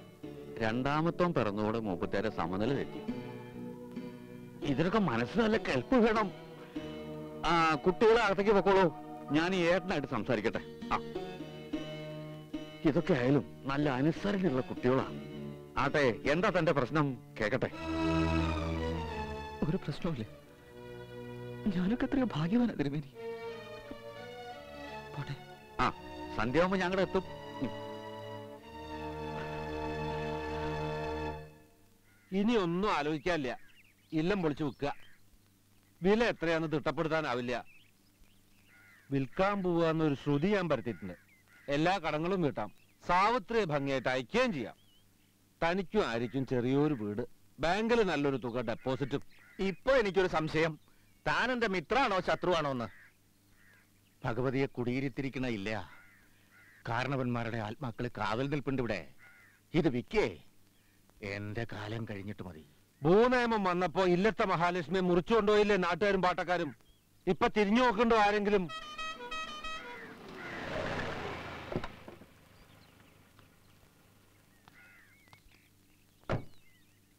അങ്ങോട്ട്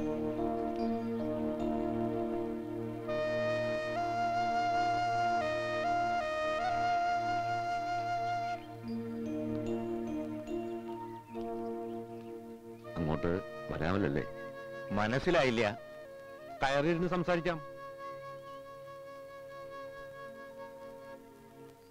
ഞാൻ മാധവമേനോൻ. ആ. മഹിമ പറയാൻ പേഷ്യന്റെ മുമ്പിൽ തറവാട്ട് പേരൊന്നുമില്ല. എന്നാലും പറയും മണികണ്ഠത്ത് ഒരു ബിസിനസ്സുകാരന്.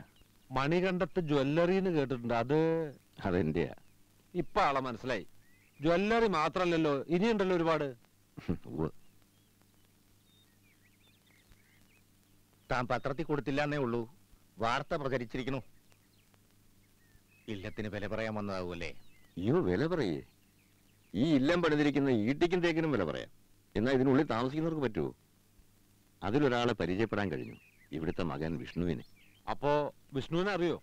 ആ ഞാൻ തിരുനെല്ലൂക്കാവിലെ ഭഗവതിയുടെ ഒരു ഭക്തനാ. ആ അമ്മയുടെ കാരുണ്യത്തിലാ ഈ നിലയിലെത്തിയത്. അവിടെ വെച്ച് അല്ല വരവിന്റെ ഉദ്ദേശം മനസ്സിലായില്ല. കാര്യങ്ങൾ അർത്ഥം മുറിച്ച് പറയാൻ കഴിവുള്ളൊരു കച്ചവടക്കാരനാണ് കച്ചവടക്കാരനാ ഞാൻ. വില പേശാനും ഉദ്ദേശിച്ച വിലയ്ക്ക് ബിസിനസ് ഉറപ്പിക്കാനും എനിക്കറിയാം. അതിലൊന്നും എന്നെ തോപ്പിക്കാൻ കഴിയില്ല. പക്ഷെ ഇത് ജീവിതത്തിന്റെ കാര്യമാണ് എങ്ങനെ പറയുക? എങ്ങനെ തുടങ്ങാന്നറിയില്ല. വളരെ പ്രതീക്ഷയോടെയാണ് ഞാൻ ഇങ്ങോട്ട് വന്നിരിക്കുന്നത്. മുഖപുരയുടെ ആവശ്യമില്ല. മാങ്കുരിശിന്ന് മാധവൻ എന്താ പ്രതീക്ഷിക്കണേ? എനിക്ക് സ്വന്തമെന്ന് പറയാൻ ഒരേ ഒരു മോളേ ഉള്ളൂ. ഒരു പെൺകുട്ടിക്ക് വേണ്ടതൊക്കെ അവൾക്ക് അറിഞ്ഞു കൊടുത്തു. മണികണ്ഠത്ത് മാധവമേനോന് മാത്രം എല്ലാ സൗഭാഗ്യങ്ങളും കൊടുക്കുന്നത് ശരിയല്ലാന്ന് ദൈവത്തിന് തോന്നിയിട്ടുണ്ടാവും. എന്റെ മകളുടെ ഒരു കയ്യയുടെ സ്വാധീനം തിരിച്ചെടുത്തു. ഒപ്പം അവളുടെ അമ്മയുടെ ജീവനും.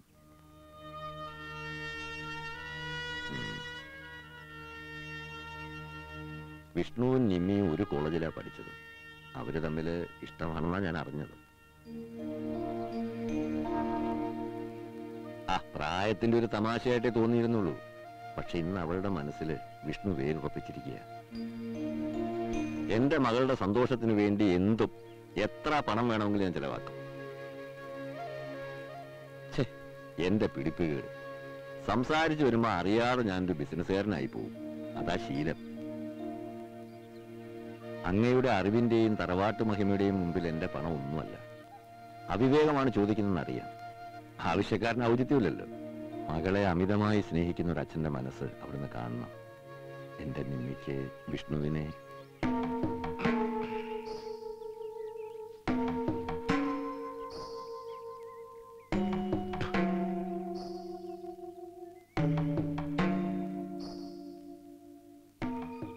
നമ്മൾ തമ്മിൽ ഒരന്തരം മാത്രമേ ഉള്ളൂ. ജാതി. ഇക്കാലത്ത് അത് നോക്കാനുണ്ടോ? എല്ലാം അറിയുന്ന ആളല്ലേ അങ്ങ്. ഒരു വിട്ടുവീഴ്ച. അഞ്ച് പരമ്പരകൾക്ക് സുഖമായി കഴിയാനുള്ള സ്വത്ത് എനിക്കുണ്ട്. പിന്നെ അവൾക്ക് വിവാഹപ്രായമായിട്ടൊന്നുമില്ല. ഒരു നിശ്ചയം. ഭഗവതിയുടെ നടക്കൽ വെച്ച്. അത് മതി. അവനെ ഞാൻ പഠിപ്പിക്കാം. എന്റെ ബിസിനസിന്റെ പങ്കാളിയാക്കാം. അത് കഴിഞ്ഞിട്ട് മതി. വിഷ്ണു സമ്മതിച്ചോ? പണത്തിന്റെ പിന്നാലെ പോകുന്നതല്ല വിഷ്ണു. അവനൊന്നും പറഞ്ഞില്ല. അവന്റെ ചിന്ത മുഴുവൻ കുടുംബത്തിന്റെ പ്രാരാബ്ദത്തിലാ. അത് ഞാൻ ഏറ്റെടുത്തോളാം. ഇവിടുന്ന് മറുത്തു പറയരുത്. മാധവമേനോൻ. താൻ ഒന്നും പറയണ്ട. സമ്മത. പൂർണ സമ്മത. ഞാൻ ആരാണാവും മാങ്കുറിശി അറിയുന്നവൻ. ഒരു അഭ്യുദയകാംക്ഷി ഇദ്ദേഹം ആരാന്ന് മനസ്സിലായോ? പറഞ്ഞതൊക്കെ കേട്ട് എന്തു പറയുന്നു? സാവിത്രി വിഷ്ണുവിന്റെ വലിയോപ്പോൾ അല്ലേ. ഞാൻ ആദ്യം പോയത് കാരക്കാട്ടേക്ക്. ആ ഇടപാട് തീർന്നു. കൂടെ വിളിച്ചുകൊണ്ട് വരണമെന്നായിരുന്നു. പക്ഷെ അത് മര്യാദയല്ലല്ലോ. കുഞ്ഞൂട്ടൻ തിരുമേനി ഉടനെ വരും. കണ്ടോ ഇതാടോ മനുഷ്യത്വം. ഇനിയെങ്കിലും താനൊന്ന് ഇരുളിൽ നിന്ന് വെളിച്ചത്തിലേക്ക് വാ. ഇദ്ദേഹം ഒരു മറുപടി പറഞ്ഞില്ലല്ലോ. അദ്ദേഹം അങ്ങനെയാ. സ്വഭാവം മാറ്റാൻ പറ്റുമോ മേനോൻ? മാങ്കുറിശി ഒന്ന് നന്നായി കണ്ടാ മതിയെന്നേ ഉള്ളൂ എനിക്ക്. അപ്പൊ ഞാൻ സമാധാനമായിട്ട് പോയിക്കോളൂ. ഞാൻ സമ്മതിപ്പിച്ചോളാം. എന്റെ തിരുവനന്തപുരം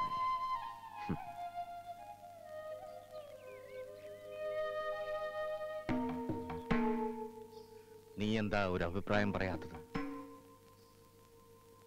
ജീവിതത്തിൽ ആദ്യമായി സ്വന്തമായ ഒരു അഭിപ്രായം. നിന്നിൽ നിന്ന് എനിക്കത് കേൾക്കണം. പറയൂ. നിന്റെ മകൻ മാങ്കുരിശി വിഷ്ണു നമ്പൂതിരിയെ കൊണ്ട് ആചാരങ്ങളും പാരമ്പര്യങ്ങളും മറന്ന് ഒരു അന്യജാതി പെൺകുട്ടിയെ വേളി കഴിപ്പിക്കാൻ സമ്മതമാണോ? പറഞ്ഞോളൂ. എന്താച്ചാലും ധൈര്യമായിട്ട് പറഞ്ഞോളൂ. അത് അതിൽ തെറ്റൊന്നും ഇല്ല എന്ന് മനസ്സ് പറയുന്നു. ആദ്യമായിട്ട് നീ ഒരു ആഗ്രഹം പറഞ്ഞതല്ലേ? എനിക്ക് മറത്തൊന്നും പറയാനില്ല. സമ്മതാണ്.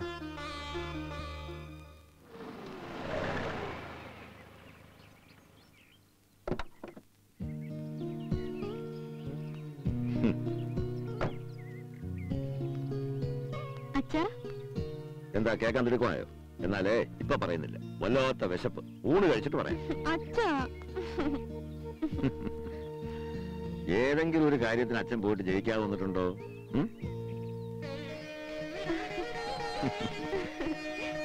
മിഥുനത്തിൽ നടത്താന്ന വാഴക്കാട്ട തിരുമേനി പറയണേ. ഒരുക്കങ്ങളൊക്കെ ഞാൻ ഇപ്പോഴേ തുടങ്ങിക്കഴിഞ്ഞു. പിന്നെ പണച്ചിലവന്റെ കാര്യം ഓർത്ത് ചിന്നൂട്ടി വിഷമിക്കണ്ട. പണ്ടവും പാത്രവും തുണിയും എത്ര വേണ്ടെച്ചാ പറഞ്ഞാ മതി. കല്യാണം കേമാക്കണം. ആരുടെ കല്യാണക്കാരിയാ ജനാർദ്ദനം പറയണേ? സമയാവുമ്പോ പറയാച്ചിട്ടാ. നീ ഇനിയിപ്പോ തിരുമേനി എല്ലാം അറിഞ്ഞ സ്ഥിതിക്ക് വിഷ്ണു ആയിട്ടുള്ള ബന്ധം അറിഞ്ഞിട്ടും എന്താ തന്റെ ഉദ്ദേശം? അതൊക്കെ പടം കഥ. ഇപ്പൊ ചിന്നൂട്ടി എന്തിയാ? കഷ്ടം. ഇന്ന് രാവിലെയും കൂടി ഞാൻ കണ്ടതല്ലേ? അവർക്ക് പിരിയാനാവില്ല. ആ പാവങ്ങൾ ജീവിച്ചോട്ടെ ജനാർദ്ദന. അവരെ വെറുതെ വിടില്ലേ നല്ലത്.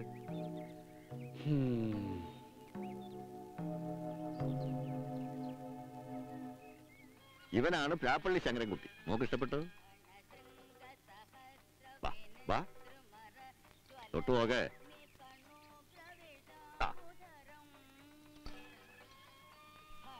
നേതിച്ച പഴം. ആ. തിരുമിനി. ഓ. മറ്റേന്നാ എന്റെ വക വിശേഷ പൂജയല്ലേ? ആഭരണ ചാരത്തിന് പുറമെ ഇവനെ നടയിരുത്തണം. അതിനെന്താ വേണ്ടെന്ന് വെച്ചാൽ ചെയ്തോളൂ. വളരെ കേമായി. അല്ല പുതിയ ബിസിനസ് വല്ലതും? ഇത് ബിസിനസ് അല്ല. ഇരുവേനോട് പറയാൻ വിട്ടു. എന്റെ മോളുടെ വിവാഹം നിശ്ചയം നന്നായി. ആരാ? മറ്റാരുമല്ല വിഷ്ണു. നമ്മുടെ വിഷ്ണു തന്നെ പെട്ടെന്നെടുത്ത തീരുമാനം ഇതായിരിക്കും അമ്മയുടെ നിശ്ചയം. നടക്കട്ടെ. ആ പറമ്പി കെട്ടിക്കോ. അവൻ ആവശ്യമുള്ളത് കൊടുക്കണം. ചെല്ലേ? Ha ha ha.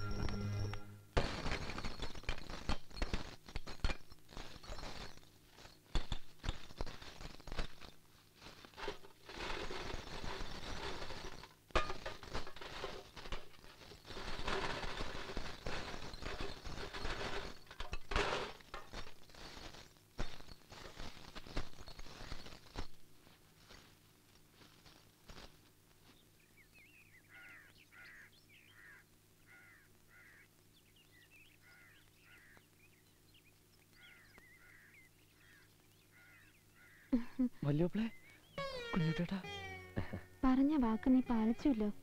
പ്രായത്തിൽ എന്നേക്കാൾ എത്ര ചെറുപ്പാ നീ. പക്ഷെ ത്രാണി സമ്മതിച്ചിരിക്കുന്നു നിന്നെ. നിങ്ങൾ എന്തൊക്കെയാ പറയണേ? എനിക്കൊന്നും മനസ്സിലാവില്ലല്ലോ അപ്പളെ മതി. ദേഷ്യം കിട്ടും എന്റെ അടുത്ത് വേണ്ട. മാധവമേനന്റെ മോളായിട്ട് നീ അടുപ്പത്തിലാണെന്ന് എന്റെ അടുത്തൊരു വാക്ക്. ചെക്കൻ ഞാൻ വിചാരിച്ച പോലല്ല. മാധവമേനോനെ ഓപ്പളെങ്ങനെ? ഇല്ലത്ത് വന്നിരുന്നു. അദ്ദേഹത്തിന് നിന്നെ അത്രയ്ക്ക് ബോധിച്ചിരിക്കുന്നു. അല്ലെങ്കിൽ കാരക്കാട്ട് ചെന്ന് അവർ ആവശ്യപ്പെട്ട സ്വർണം കൊടുക്കേണ്ട വല്ല ആവശ്യമുണ്ടോ? ആട്ടെ ആ കുട്ടി നിന്നെ കാണാൻ എങ്ങനെയാ? ഇപ്പൊ മനസ്സിലായി. എന്നിട്ട് അച്ഛൻ സമ്മതിച്ചോ? അതാ അത്ഭുതം. മനസ്സിലെ മനസ്സോടെ ആണെങ്കിലും മോളി. അപ്പോ അച്ഛൻ അത്രയ്ക്കേ ഉള്ളൂ അല്ലേ? ബുദ്ധിമാനായ ഒരു ബിസിനസ്സുകാരനാ അമാധമേനോ എന്നെ വിലക്കെടുക്കാൻ നോക്കുക. ഏതായാലും കാര്യങ്ങൾ ഭംഗിയായി നടന്നല്ലോ ഇല്ലത്തെല്ലാവർക്കും സന്തോഷമായി. സാവിനെ കൂട്ടി വരാൻ അച്ഛനെ എന്നെ അയച്ചേ. ഇനി ഏതായാലും നിന്റെ നിശ്ചയ ഉത്സവം കഴിഞ്ഞിട്ടേ മറക്കുള്ളൂ. ആ നിങ്ങൾ സംസാരിച്ചിട്ട് ഞാനും തൊഴിലെത്തില്ല വരൂ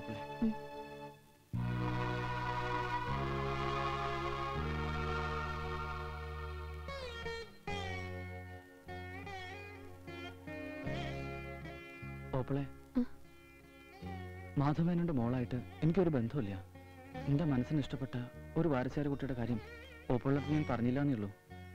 ഓപ്പോൾക്ക് ചിന്നൂട്ടി ഇഷ്ടാവും. പണമില്ലായിരിക്കാം. എന്റെ മനസ്സ് കണ്ടോളാം അവൾ. അവളെ ഉപേക്ഷിച്ച് മാധവനന്റെ പറയൂ ഓപ്പളെ. ആ പാവപ്പെട്ട പെൺകുട്ടിയെ വഞ്ചിച്ചിട്ട് ഞാൻ പണത്തിന്റെ പിന്നാലെ പോണോ? വിഷ്ണു ജീവിക്കാൻ വലിയ മോഹമൊന്നും ഉണ്ടായിരുന്നില്ല. കുഞ്ഞിത്തേട്ടൻ എന്ന് വിളിച്ചപ്പോ വീണ്ടും ഇറങ്ങി. അറിയാതെ നാശിച്ചു പോയി. തിരിച്ച് മാങ്കുറിച്ചിലേക്ക് മടങ്ങാൻ കുറച്ച് വിഷമം തോന്നുന്നു. എന്റെ കാര്യം വിട. കടത്തിൽ മുങ്ങി നിൽക്കുന്ന അച്ഛന്റെ കാര്യം ഒന്ന് ആലോചിച്ച് നോക്ക്. വിഷ്ണു ഭാഗ്യ ഇപ്പൊ എത്തിപ്പിടിക്കാവുന്ന ദൂരത്തില. ഓപ്പോൾ ഇന്ന് വരെ നിന്നോടൊന്നും ആവശ്യപ്പെട്ടിട്ടില്ല. ഇന്ന് ചോദിക്കുക നീ സമ്മതിക്കണം. അച്ഛനും അമ്മയും സരസൊക്കെ ഇപ്പൊ എത്തും. നിന്റെ നിശ്ചയത്തിന് അവർ വരണേ. ഞങ്ങളോട് മുറി ബുക്ക് ചെയ്യാൻ പറഞ്ഞിരിക്കുക പോട്ടെ.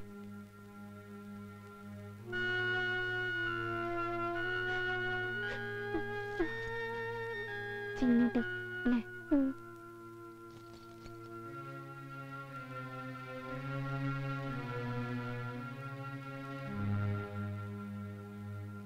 പറഞ്ഞതൊക്കെ കേട്ടു. നല്ല കാര്യ. മറ്റന്നാ ചാർത്തല്ലേ? ഞെരടി പെറുക്കി ഒരു ഒപ്പിച്ചു. എന്നാലും ഒരു അയ്യായിരത്തിന്റെ കുറവുണ്ട്. അതിന് ഓടി നടക്ക. ഞാൻ ഉണ്ടാക്കും. എനിക്കൊരു വിരോധമില്ല. ഞാനൊരു വാക്ക് പറഞ്ഞു. ആഭരണ ചാർത്തിന് മുമ്പ് ആ കടം വീട്ടാന്ന്. ചിന്നൂട്ടി വിചാരിക്കണ്ടോ? ചിന്നൂട്ടി വിട്ട് എനിക്ക് ഇഷ്ടമല്ലെങ്കിലോ? അല്ലെങ്കിലും ഞാൻ ആ തീരുമാനം ചോർപ്പിച്ചു കഴിഞ്ഞു. ഭഗവതി ഇന്നലെ സ്വപ്നത്തിലെന്ന് എന്നോട് പറഞ്ഞു ആ ശാന്തിക്കാരൻ തിരുമേനി നിനക്ക് വേണ്ട.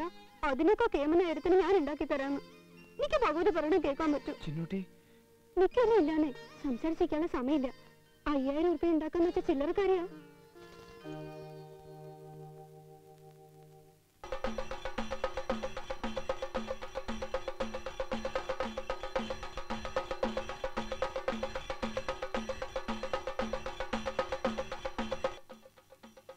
ജനാർദ്ദന. ഓ പ്രസാദം വാങ്ങിക്കോളൂ. മോനെ നീ മാറിയിരിക്കണു. ചിലപ്പോ മാറ്റം എനിക്കായിരിക്കും. എന്തായാലും നന്നായി. നീ ക്ഷീണിച്ചല്ലോ കുട്ടി. അച്ഛൻ അങ്ങനെ പറഞ്ഞില്ലല്ലോ. ആ എല്ലാവരും എത്തിയല്ലോ. ആ. ഇതാണ് എന്റെ മോൾ നിമ്മി. മോൾ വിഷ്ണുവിന്റെ അച്ഛനും അമ്മയും. ആ വേണ്ട വേണ്ട വേണ്ട. അമ്പലത്തിൽ വെച്ച് ഭഗവതി അല്ലാതെ. കോളേജിൽ വെച്ച് ഇങ്ങനെ ഒരു കുട്ടിയെ പരിചയമുണ്ടെന്ന് ഈ കള്ളം പറഞ്ഞില്ല കേട്ടോ.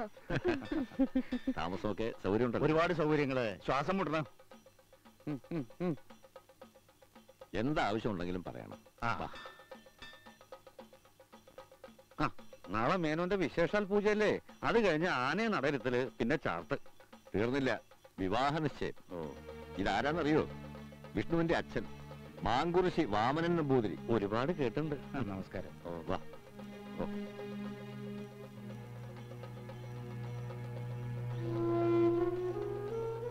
നിന്നെ കുറിച്ച് ഞാൻ ഇങ്ങനെ ഒന്നല്ല കരുതിയത്. ഈ കാണിക്കണ നെറുകേടാ.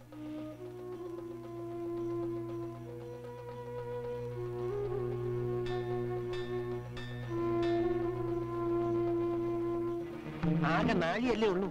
ഇടങ്ങളുടെ മോഹവും. ആദ്യം എന്റെ പെണ്ണിനെ പറഞ്ഞു മയക്കി. ഭഗവതിക്ക് കൊടുത്ത പണ്ടപ്പെട്ടിയിലെ സ്വർണം മോഷ്ടിച്ചു. അവസാനം ഇതാ മേനോ സാറിന്റെ മോളെ. നീ ഇവിടെ വേര് വെച്ച ഞങ്ങളൊക്കെ കടപുടകി വീഴും. തളയ്ക്കാൻ പാടില്ല. വേരോട് പിഴുതെറിയും ഞാൻ. തിന്നൂട്ടിയായിട്ടുള്ള ബന്ധം അറിഞ്ഞ ഒരുപക്ഷെ മേനോ സാർ ക്ഷമിച്ചെന്ന് വരും. പക്ഷെ ആഭരണം അതെനിക്കൊരായുധമാണ് ചെറ്റേ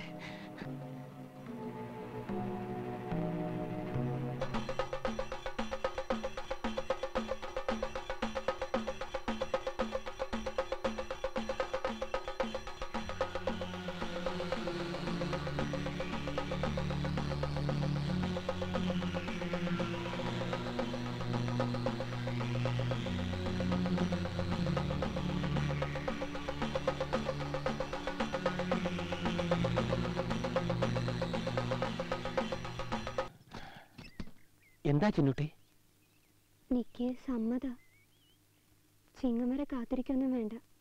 നാളെ അച്ഛാ നാളെ. ഭഗവതിയാണ് സത്യം. പക്ഷേ തിരുമേനി എനിക്കൊരു ഉപകാരം ചെയ്യണം. എന്താ ചിന്നുട്ടി? ആ വിഷ്ണു നമ്പൂതിരിയുടെ കാര്യം അറിയാലോ. മനഃപൂർവമല്ല നിവർത്തികേടാ. ആഭരണപ്പെട്ടി തുറക്കുമ്പോൾ ആ കുട്ടിയുടെ മാനം പോവും. അതുണ്ടാവരുത്. നിന്റെ എല്ലാം വിറ്റ് പെറുക്കിയിട്ടുള്ള കാശ. ഈ കമലും വളയും വിറ്റാലും ഒരു അയ്യായിരത്തിന്റെ കുറവുണ്ടാവും. ചോദിക്കാൻ ഈ നാട്ടിന് ആരുമില്ല. അത് തിരുമേനി തരണം. തന്നാ പോരാ.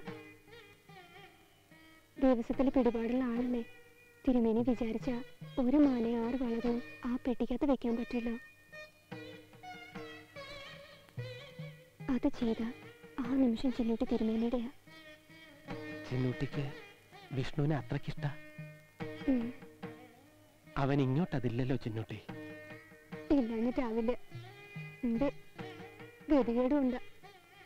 അതൊക്കെ നമ്മൾ എന്തിനാ ചെയ്യണേ? അങ്ങനെയെങ്കിലും ഒരു കുടുംബം രക്ഷപ്പെടുകയാണെങ്കിൽ രക്ഷപ്പെടട്ടെ. ഭഗവതിയുടെ നിശ്ചയല്ലേ നടക്കൂ. ഞാൻ സ്നേഹക്കുറവൊന്നും കാണിക്കില്ല കേട്ടോ. എന്നെ വിശ്വസിക്കാം. എനിക്ക് വിശ്വാസ പൂർണ വിശ്വാസ. പക്ഷേ വൈകിയല്ലോ ചിന്നുട്ടി. അപ്പൊ നടക്കില്ലേ? ഇനി ഒരു വഴിയേ ഉള്ളൂ. ഇത് നന്നായിരിക്കുന്നു. ഇതെങ്ങനെയുണ്ട് ചേച്ചി? ഏതണിഞ്ഞാലും നിമ്മിക്ക് നന്നായി ചേരും.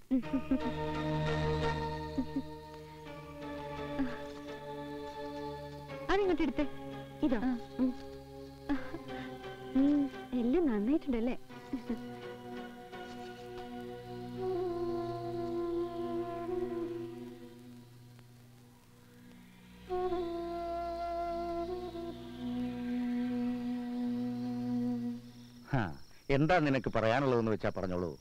പ്രായത്തിൽ ചെറുപ്പമാണെങ്കിലും ഒരു കാരണവർക്ക് വേണ്ട പ്രാപ്തി നിനക്കുണ്ട് എന്ന് നീ തെളിയിച്ചു.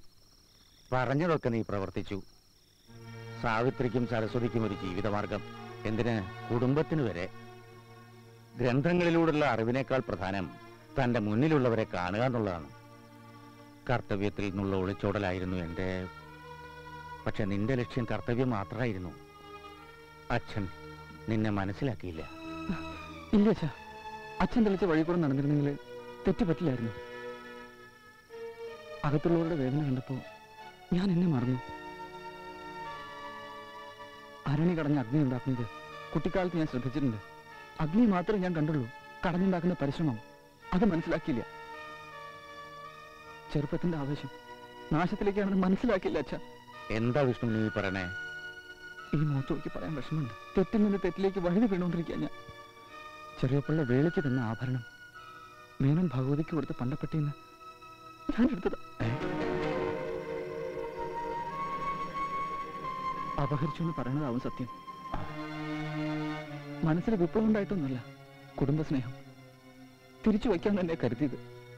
കഴിയണില്ല ഞാൻ ഉറങ്ങിയിട്ട് ദിവസം എത്രയെന്ന് അച്ഛൻ അറിയോ അപഹരിച്ചത് പോട്ടെ. അതിന്റെ കൂടെ വഞ്ചനയും അതും എന്നെ മനസ്സിലാക്കിയ എന്നെ ജീവന തുല്യ സ്നേഹിക്കുന്ന പെൺകുട്ടിയോട് ആ ആഭരണത്തിന് വേണ്ടിയുള്ള പണത്തിന് ഓടി നടക്കുക അവൾ. മേനന്റെ മകളെ വേളി കഴിക്കുന്നതോടെ ഓപ്പണമാർ രക്ഷപ്പെടും. കുടുംബം രക്ഷപ്പെടും. ഞാനോ? എന്റെ ചിന്നൂട്ടി എന്നെ ശപിക്കില്ല. എന്നാലും പൊറുക്കില്ല. ദൈവം പൊറുക്കില്ല അച്ഛ. വിഷ്ണു. ഒരുപാട് അറിവുള്ള ആളല്ലേ. ഞാൻ എന്താ ചെയ്യേണ്ട അച്ഛ? ചെയ്ത തെറ്റ് തുറന്നു പറയാനുള്ള മനസ്സ് നിനക്കുണ്ടായല്ലോ. നല്ലത്. പക്ഷേ ഇത് എന്നോടല്ല പറയേണ്ടത്. മേനോടാണ് അച്ഛാ. പറയണം. ശിക്ഷ എന്തോ ആയിക്കോട്ടെ.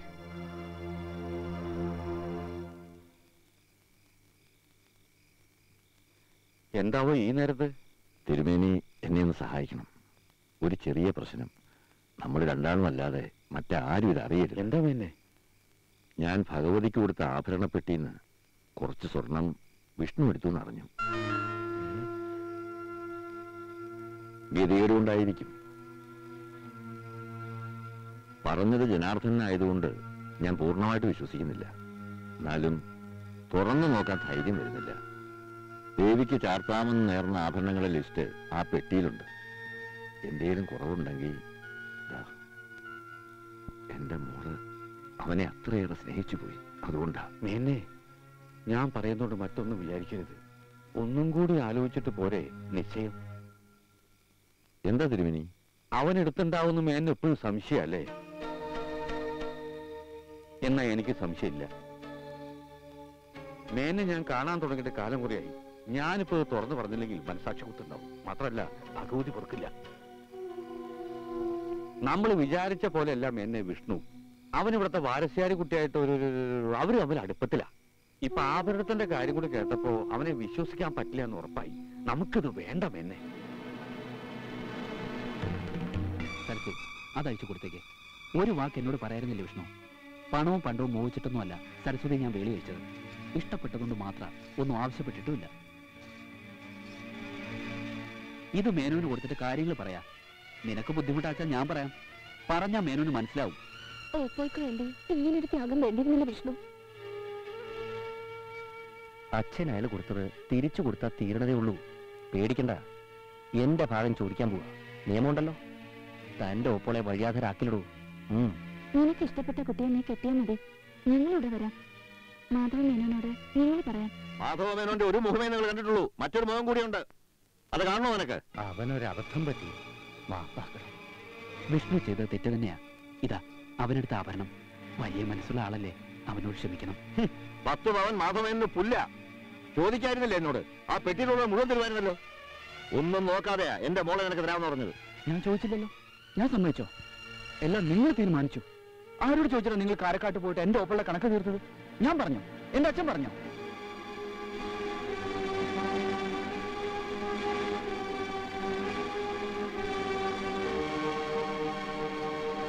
നിങ്ങൾക്ക് എന്നെ വേണമായിരുന്നു. അതിനുള്ള വില ശുദ്ധരായ എന്റെ അച്ഛനും ഓപ്പൾക്കൊന്നും മനസ്സിലാവില്ല.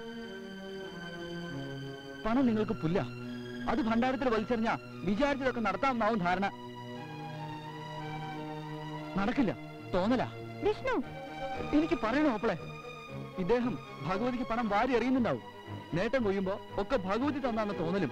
പ്രതികരിക്കുന്നില്ലല്ലോ പക്ഷെ ശാന്തിക്കാരൻ ജീവനുണ്ട് കുടുംബമുണ്ട്. അവനൊരു മനുഷ്യനാ. മിടുക്കൻ.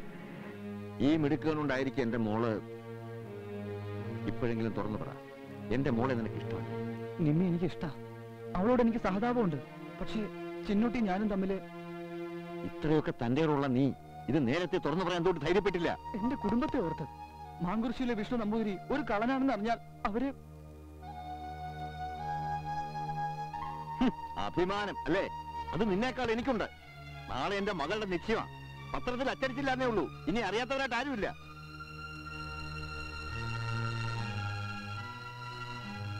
പിന്നെന്റെ നിമ്മി. അവളുടെ മുമ്പിൽ മറ്റാരും എനിക്ക് പ്രശ്നമല്ല. എല്ലാം അറിഞ്ഞിട്ടും അവൾക്ക് വേണ്ടി ഞാൻ ക്ഷമിക്കുക. ആഭരണത്തിന്റെ കാര്യം ഞാൻ മറക്കാം. ചിന്നൂട്ടി നീ മറക്കണം. നാളെ നിശ്ചയം നടക്കണം നടത്തും. ആഭരണപ്പെട്ടി ഇപ്പോഴും എന്റെ കൈപ്പിടിയിലാണെന്ന് മറക്കണ്ട. ഇടിഞ്ഞു വീഴാറായ ഒരു ഇല്ലം മാത്രമല്ലേ ഉള്ളൂ. ഞാൻ വിചാരിച്ചാൽ മതി അതിന്റെ അടിത്തറ പൊളിക്കാൻ. ഒരെണ്ണത്തിനെ ഞാൻ വെറുതെ വിടില്ല. എനിക്ക് തന്ന വാക്ക് അത് മറക്കണ്ട. വിഷ്ണു നാളെ നീയും നിമ്മിയും തമ്മിലുള്ള നിശ്ചയത്തിന് ഒരു മാറ്റമില്ല അച്ഛാ. മാങ്കുറിശിയിലെ വാമനാ പറയണേ. സാറ് ക്ഷമിക്കണം. തീർന്നില്ലേ? ഇനിയും പറയാൻ വല്ലതും ബാക്കിയുണ്ടോ? അതല്ല സർ ഞാൻ ചെയ്തത് തെറ്റായിപ്പോയി. ചിന്നൂട്ടി. അറിഞ്ഞു. പറയാൻ പോകുന്ന എന്താണെന്നും അറിയാം. കാണാൻ അങ്ങോട്ട് വരാതിരിക്കായിരുന്നു ഇതുവരെ നടന്ന എന്തോ ആയിക്കോട്ടെ. ഇനി അങ്ങനൊരു ആഗ്രഹം വേണ്ട നടക്കില്ല. കുട്ടിക്ക് എന്താ വേണ്ടതെന്ന് വെച്ചാൽ പറയാം. എത്ര പണം വേണമെങ്കിലും ഒരു മടിയില്ല. ഒന്നും വേണ്ട സർ. പണം അങ്ങോട്ട് തരാനാ വന്നത്.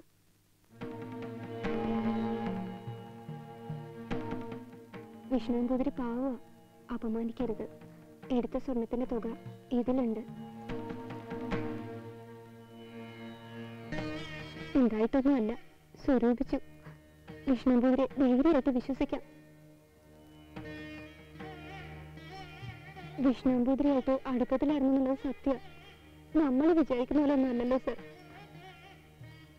എനിക്ക് നറുക്ക് വീണത് ഈ തിരുമേനിയാ. ഞാൻ നല്ലവനാണെന്നൊന്നും പറയില്ല. എത്ര ചീത്ത ആൾക്കാർക്കും മനസ്സിൽ ചില നന്മകളൊക്കെ ഉണ്ടാവും. എനിക്കത് തോന്നിച്ചത് ഇപ്പോഴാണെന്ന് മാത്രം. പണം മോഹിച്ച് ശാന്തി ചെയ്തിരുന്നവരാ ഞാൻ. വിഷ്ണു അങ്ങനെയല്ല. നന്മ മാത്രമേ അവനുള്ളൂ. അവനൊന്നും ചെയ്യരുത് സർ അത് കൈ തന്നെ ഇരിക്കട്ടെ. വിഷ്ണുവുമായിട്ട് കുട്ടി അടുപ്പത്തിലായിരുന്നു എന്ന് എന്റെ മകൾ അറിയരുത്. നാളെ നിങ്ങൾ മുഖാന്തരം എന്തെങ്കിലും പ്രശ്നങ്ങൾ ഉണ്ടായാ പിന്നെ. ആ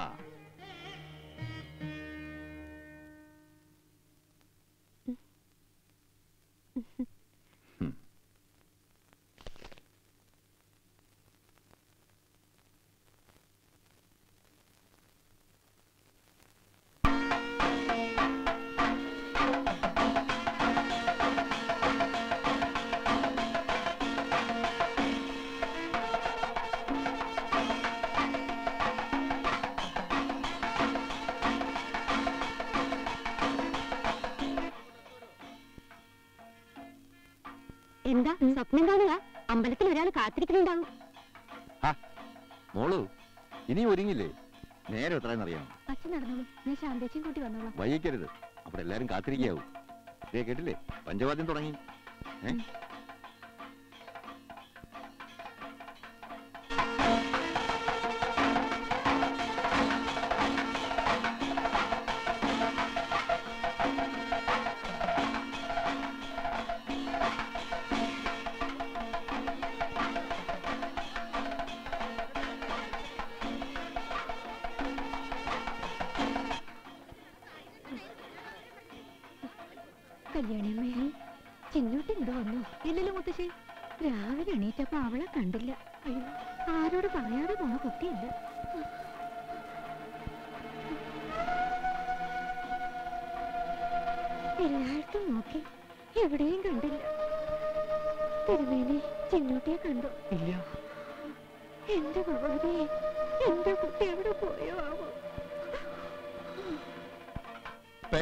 പെട്ടെന്നായിരുന്നു തീരുമാനം എന്റെ കാര്യങ്ങളൊക്കെ അങ്ങനെയല്ലേടൂ അതെ, അതെ. മനസ്സിലൊന്ന് തീരുമാനിച്ചാൽ അത് നടത്തണം. ആ വിവാഹം ഉടനെ ഉണ്ടാവോ ഒന്നും തീരുമാനിച്ചിട്ടില്ല. ഏതായാലും കേമമായിട്ട് നടത്തണം.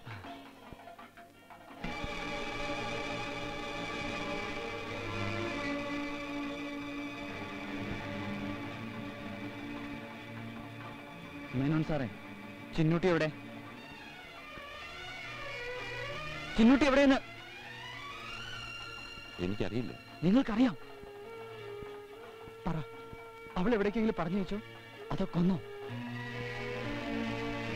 ഞാൻ വാക്ക് പാലിച്ചു. നിങ്ങളുടെ മകളെ ഞാൻ വിവാഹം കഴിക്കുന്നു.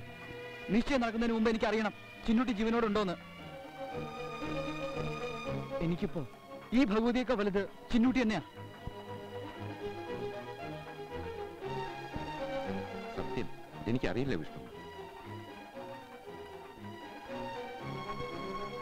ഈ ഭഗവതിയാണ് എനിക്കൊന്നും അറിയില്ല. ഇന്നലെ എന്നെ കാണാൻ വന്നുള്ള സത്യമാണ്. അത് കഴിഞ്ഞ് മാധവമേന എന്റെ മകന് തെറ്റുപറ്റിയിട്ടുണ്ടാവാം. തിരുത്താനാവുന്ന തെറ്റേ അവൻ ചെയ്തിട്ടുള്ളൂ. പക്ഷേ നിങ്ങൾ പാവപ്പെട്ട ഒരു പെൺകുട്ടിയെ കുരുതി കൊടുത്തിട്ട് വേണ്ട എന്റെ മകന് വിവാഹ നിശ്ചയം. ഇന്ന് വരെ സത്യയെ പറഞ്ഞിട്ടുള്ളൂ. ധർമ്മയെ പ്രവർത്തിച്ചിട്ടുള്ളൂ. തികഞ്ഞ ഭഗവതി ഭക്തനല്ലേ സത്യം പറമെന്നെ ചുന്നൂട്ടി എവിടെയാ? ഞങ്ങൾ പാവങ്ങളാ. എന്റെ കുട്ടിക്ക് എന്തെങ്കിലും എട്ടും പൊട്ടും തിരിയാത്ത കുട്ടി അവൾ അവൾക്ക് എന്ത് പറ്റി മേനോൻ സാറേ? നിങ്ങൾ പറഞ്ഞതൊക്കെ സമ്മതിച്ചു. എന്നിട്ടും? ഇന്നലെ അവൾ കാണാൻ വന്നിരുന്നു പറഞ്ഞില്ലേ? എന്തിനാ? അത്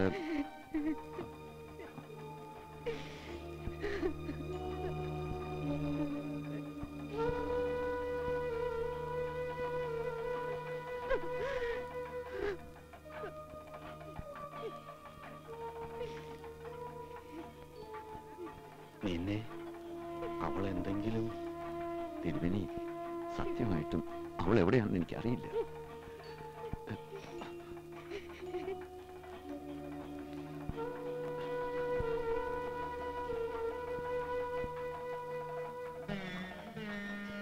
എന്റെ ഭഗവതി ഞാൻ എന്ത് തെറ്റാ ചെയ്ത്? എന്തിനാ എന്നെ ഇങ്ങനെ പരീക്ഷിക്കുന്നത്?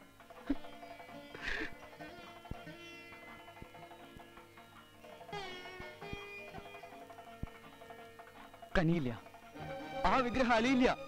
ഒരു നേരത്തെ ആഹാരത്തിന് പോലും വകയില്ലാത്ത ഒരുപാട് പേര് ഈ അമ്പലനടയിലുണ്ട്. അവരെ കാണാതെ നിങ്ങൾ ഒരു കനക വിഗ്രഹത്തിന് ആഭരണ ചാർത്തി നടത്തിയതുകൊണ്ടോ ആനെ നടക്കിയിരുത്തിയതുകൊണ്ടൊന്നും കനിയില്ല.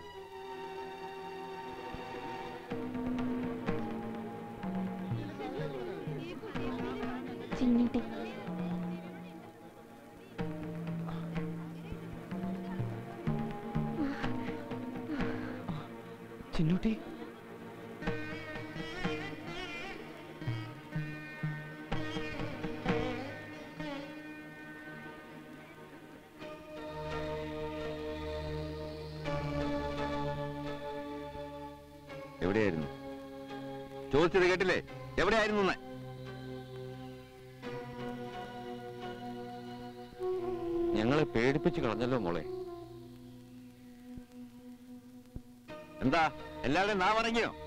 കൽപ്പിച്ചുകൊണ്ട് എന്നെ അപമാനിക്കായിരുന്നല്ലേ? ക്ഷമിക്കണം എന്നെ. ഇത്രയൊക്കെ അവസരം ഉണ്ടാക്കിയിട്ട്. അതും തുളസിപ്പൂമാല വെച്ച് നടക്കുന്ന ഒരു വാരസ്യാല പെണ്ണിന് വേണ്ടി എന്നെ? അവൾ പറയട്ടെ ആദ്യം. എന്നിട്ട് മതി. ഞാൻ പറയാം സാർ. വിഷ്ണുവിന്റെ അഭിമാനം രക്ഷിക്കാൻ വേണ്ടി ഉള്ളതെല്ലാം വിറ്റുപറക്കി ഈ കാൽക്കൽ വെച്ചില്ലേ? എന്നിട്ടും സാർ അലിഞ്ഞില്ല. പക്ഷെ അലിവുള്ള ഒരാൾ അകത്തുണ്ടായിരുന്നു.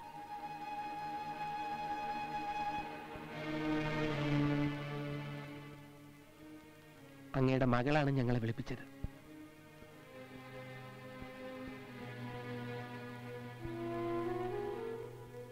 ഞാൻ എല്ലാം അറിഞ്ഞു വെച്ച. അവസരം ഉണ്ടാവാതിരിക്കാന്. ചിന്നൂട്ടി ഈ തിരുമേനിയായുള്ള നിശ്ചയം ഇന്ന് എന്നെ നടത്താൻ ഇറങ്ങി തിരിച്ചത്. ഇദ്ദേഹത്തിന്റെ നല്ല മനസ്സ് അവളെ എന്റെ അടുത്ത് എത്തിച്ചു.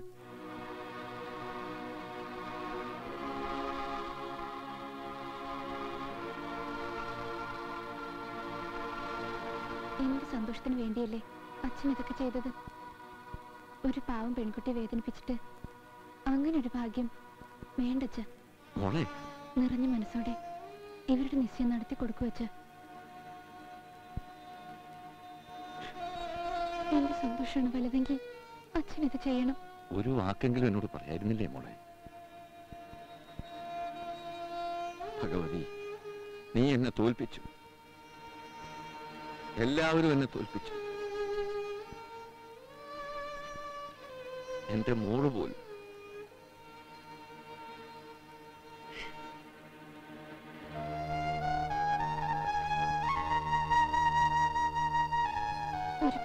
ഒരുപാട് പേടിപ്പിച്ചിട്ടുണ്ട്. പീഡിപ്പിച്ചിട്ടുണ്ട് അതിനൊരു പ്രായച്ചിത്തം. ഇതെന്റെ ഒരു സമ്മാനമായിട്ട് കരുതണം. നന്നായും എന്നെ. അതായിരിക്കും ഭഗവതിയുടെ ഇച്ഛ. ഞാൻ ചാർത്തിയ ആഭരണത്തേക്കാൾ ദേവിക്കിഷ്ടം തുളസിമാലയായിരുന്നിരിക്കാം പക്ഷേ എനിക്ക് വേണ്ടിയായിരുന്നില്ല ഞാനിതൊന്നും അർപ്പിച്ചത്. എന്റെ മോൾക്ക് വേണ്ടിയായിരുന്നു. അവളുടെ ഇഷ്ടം ഇതാണെങ്കിൽ സ്നേഹമുള്ള മനസ്സുകളെ കൂട്ടിച്ചേർക്കണം എന്നുള്ളതാവും ഭഗവതിയുടെ നിശ്ചയം.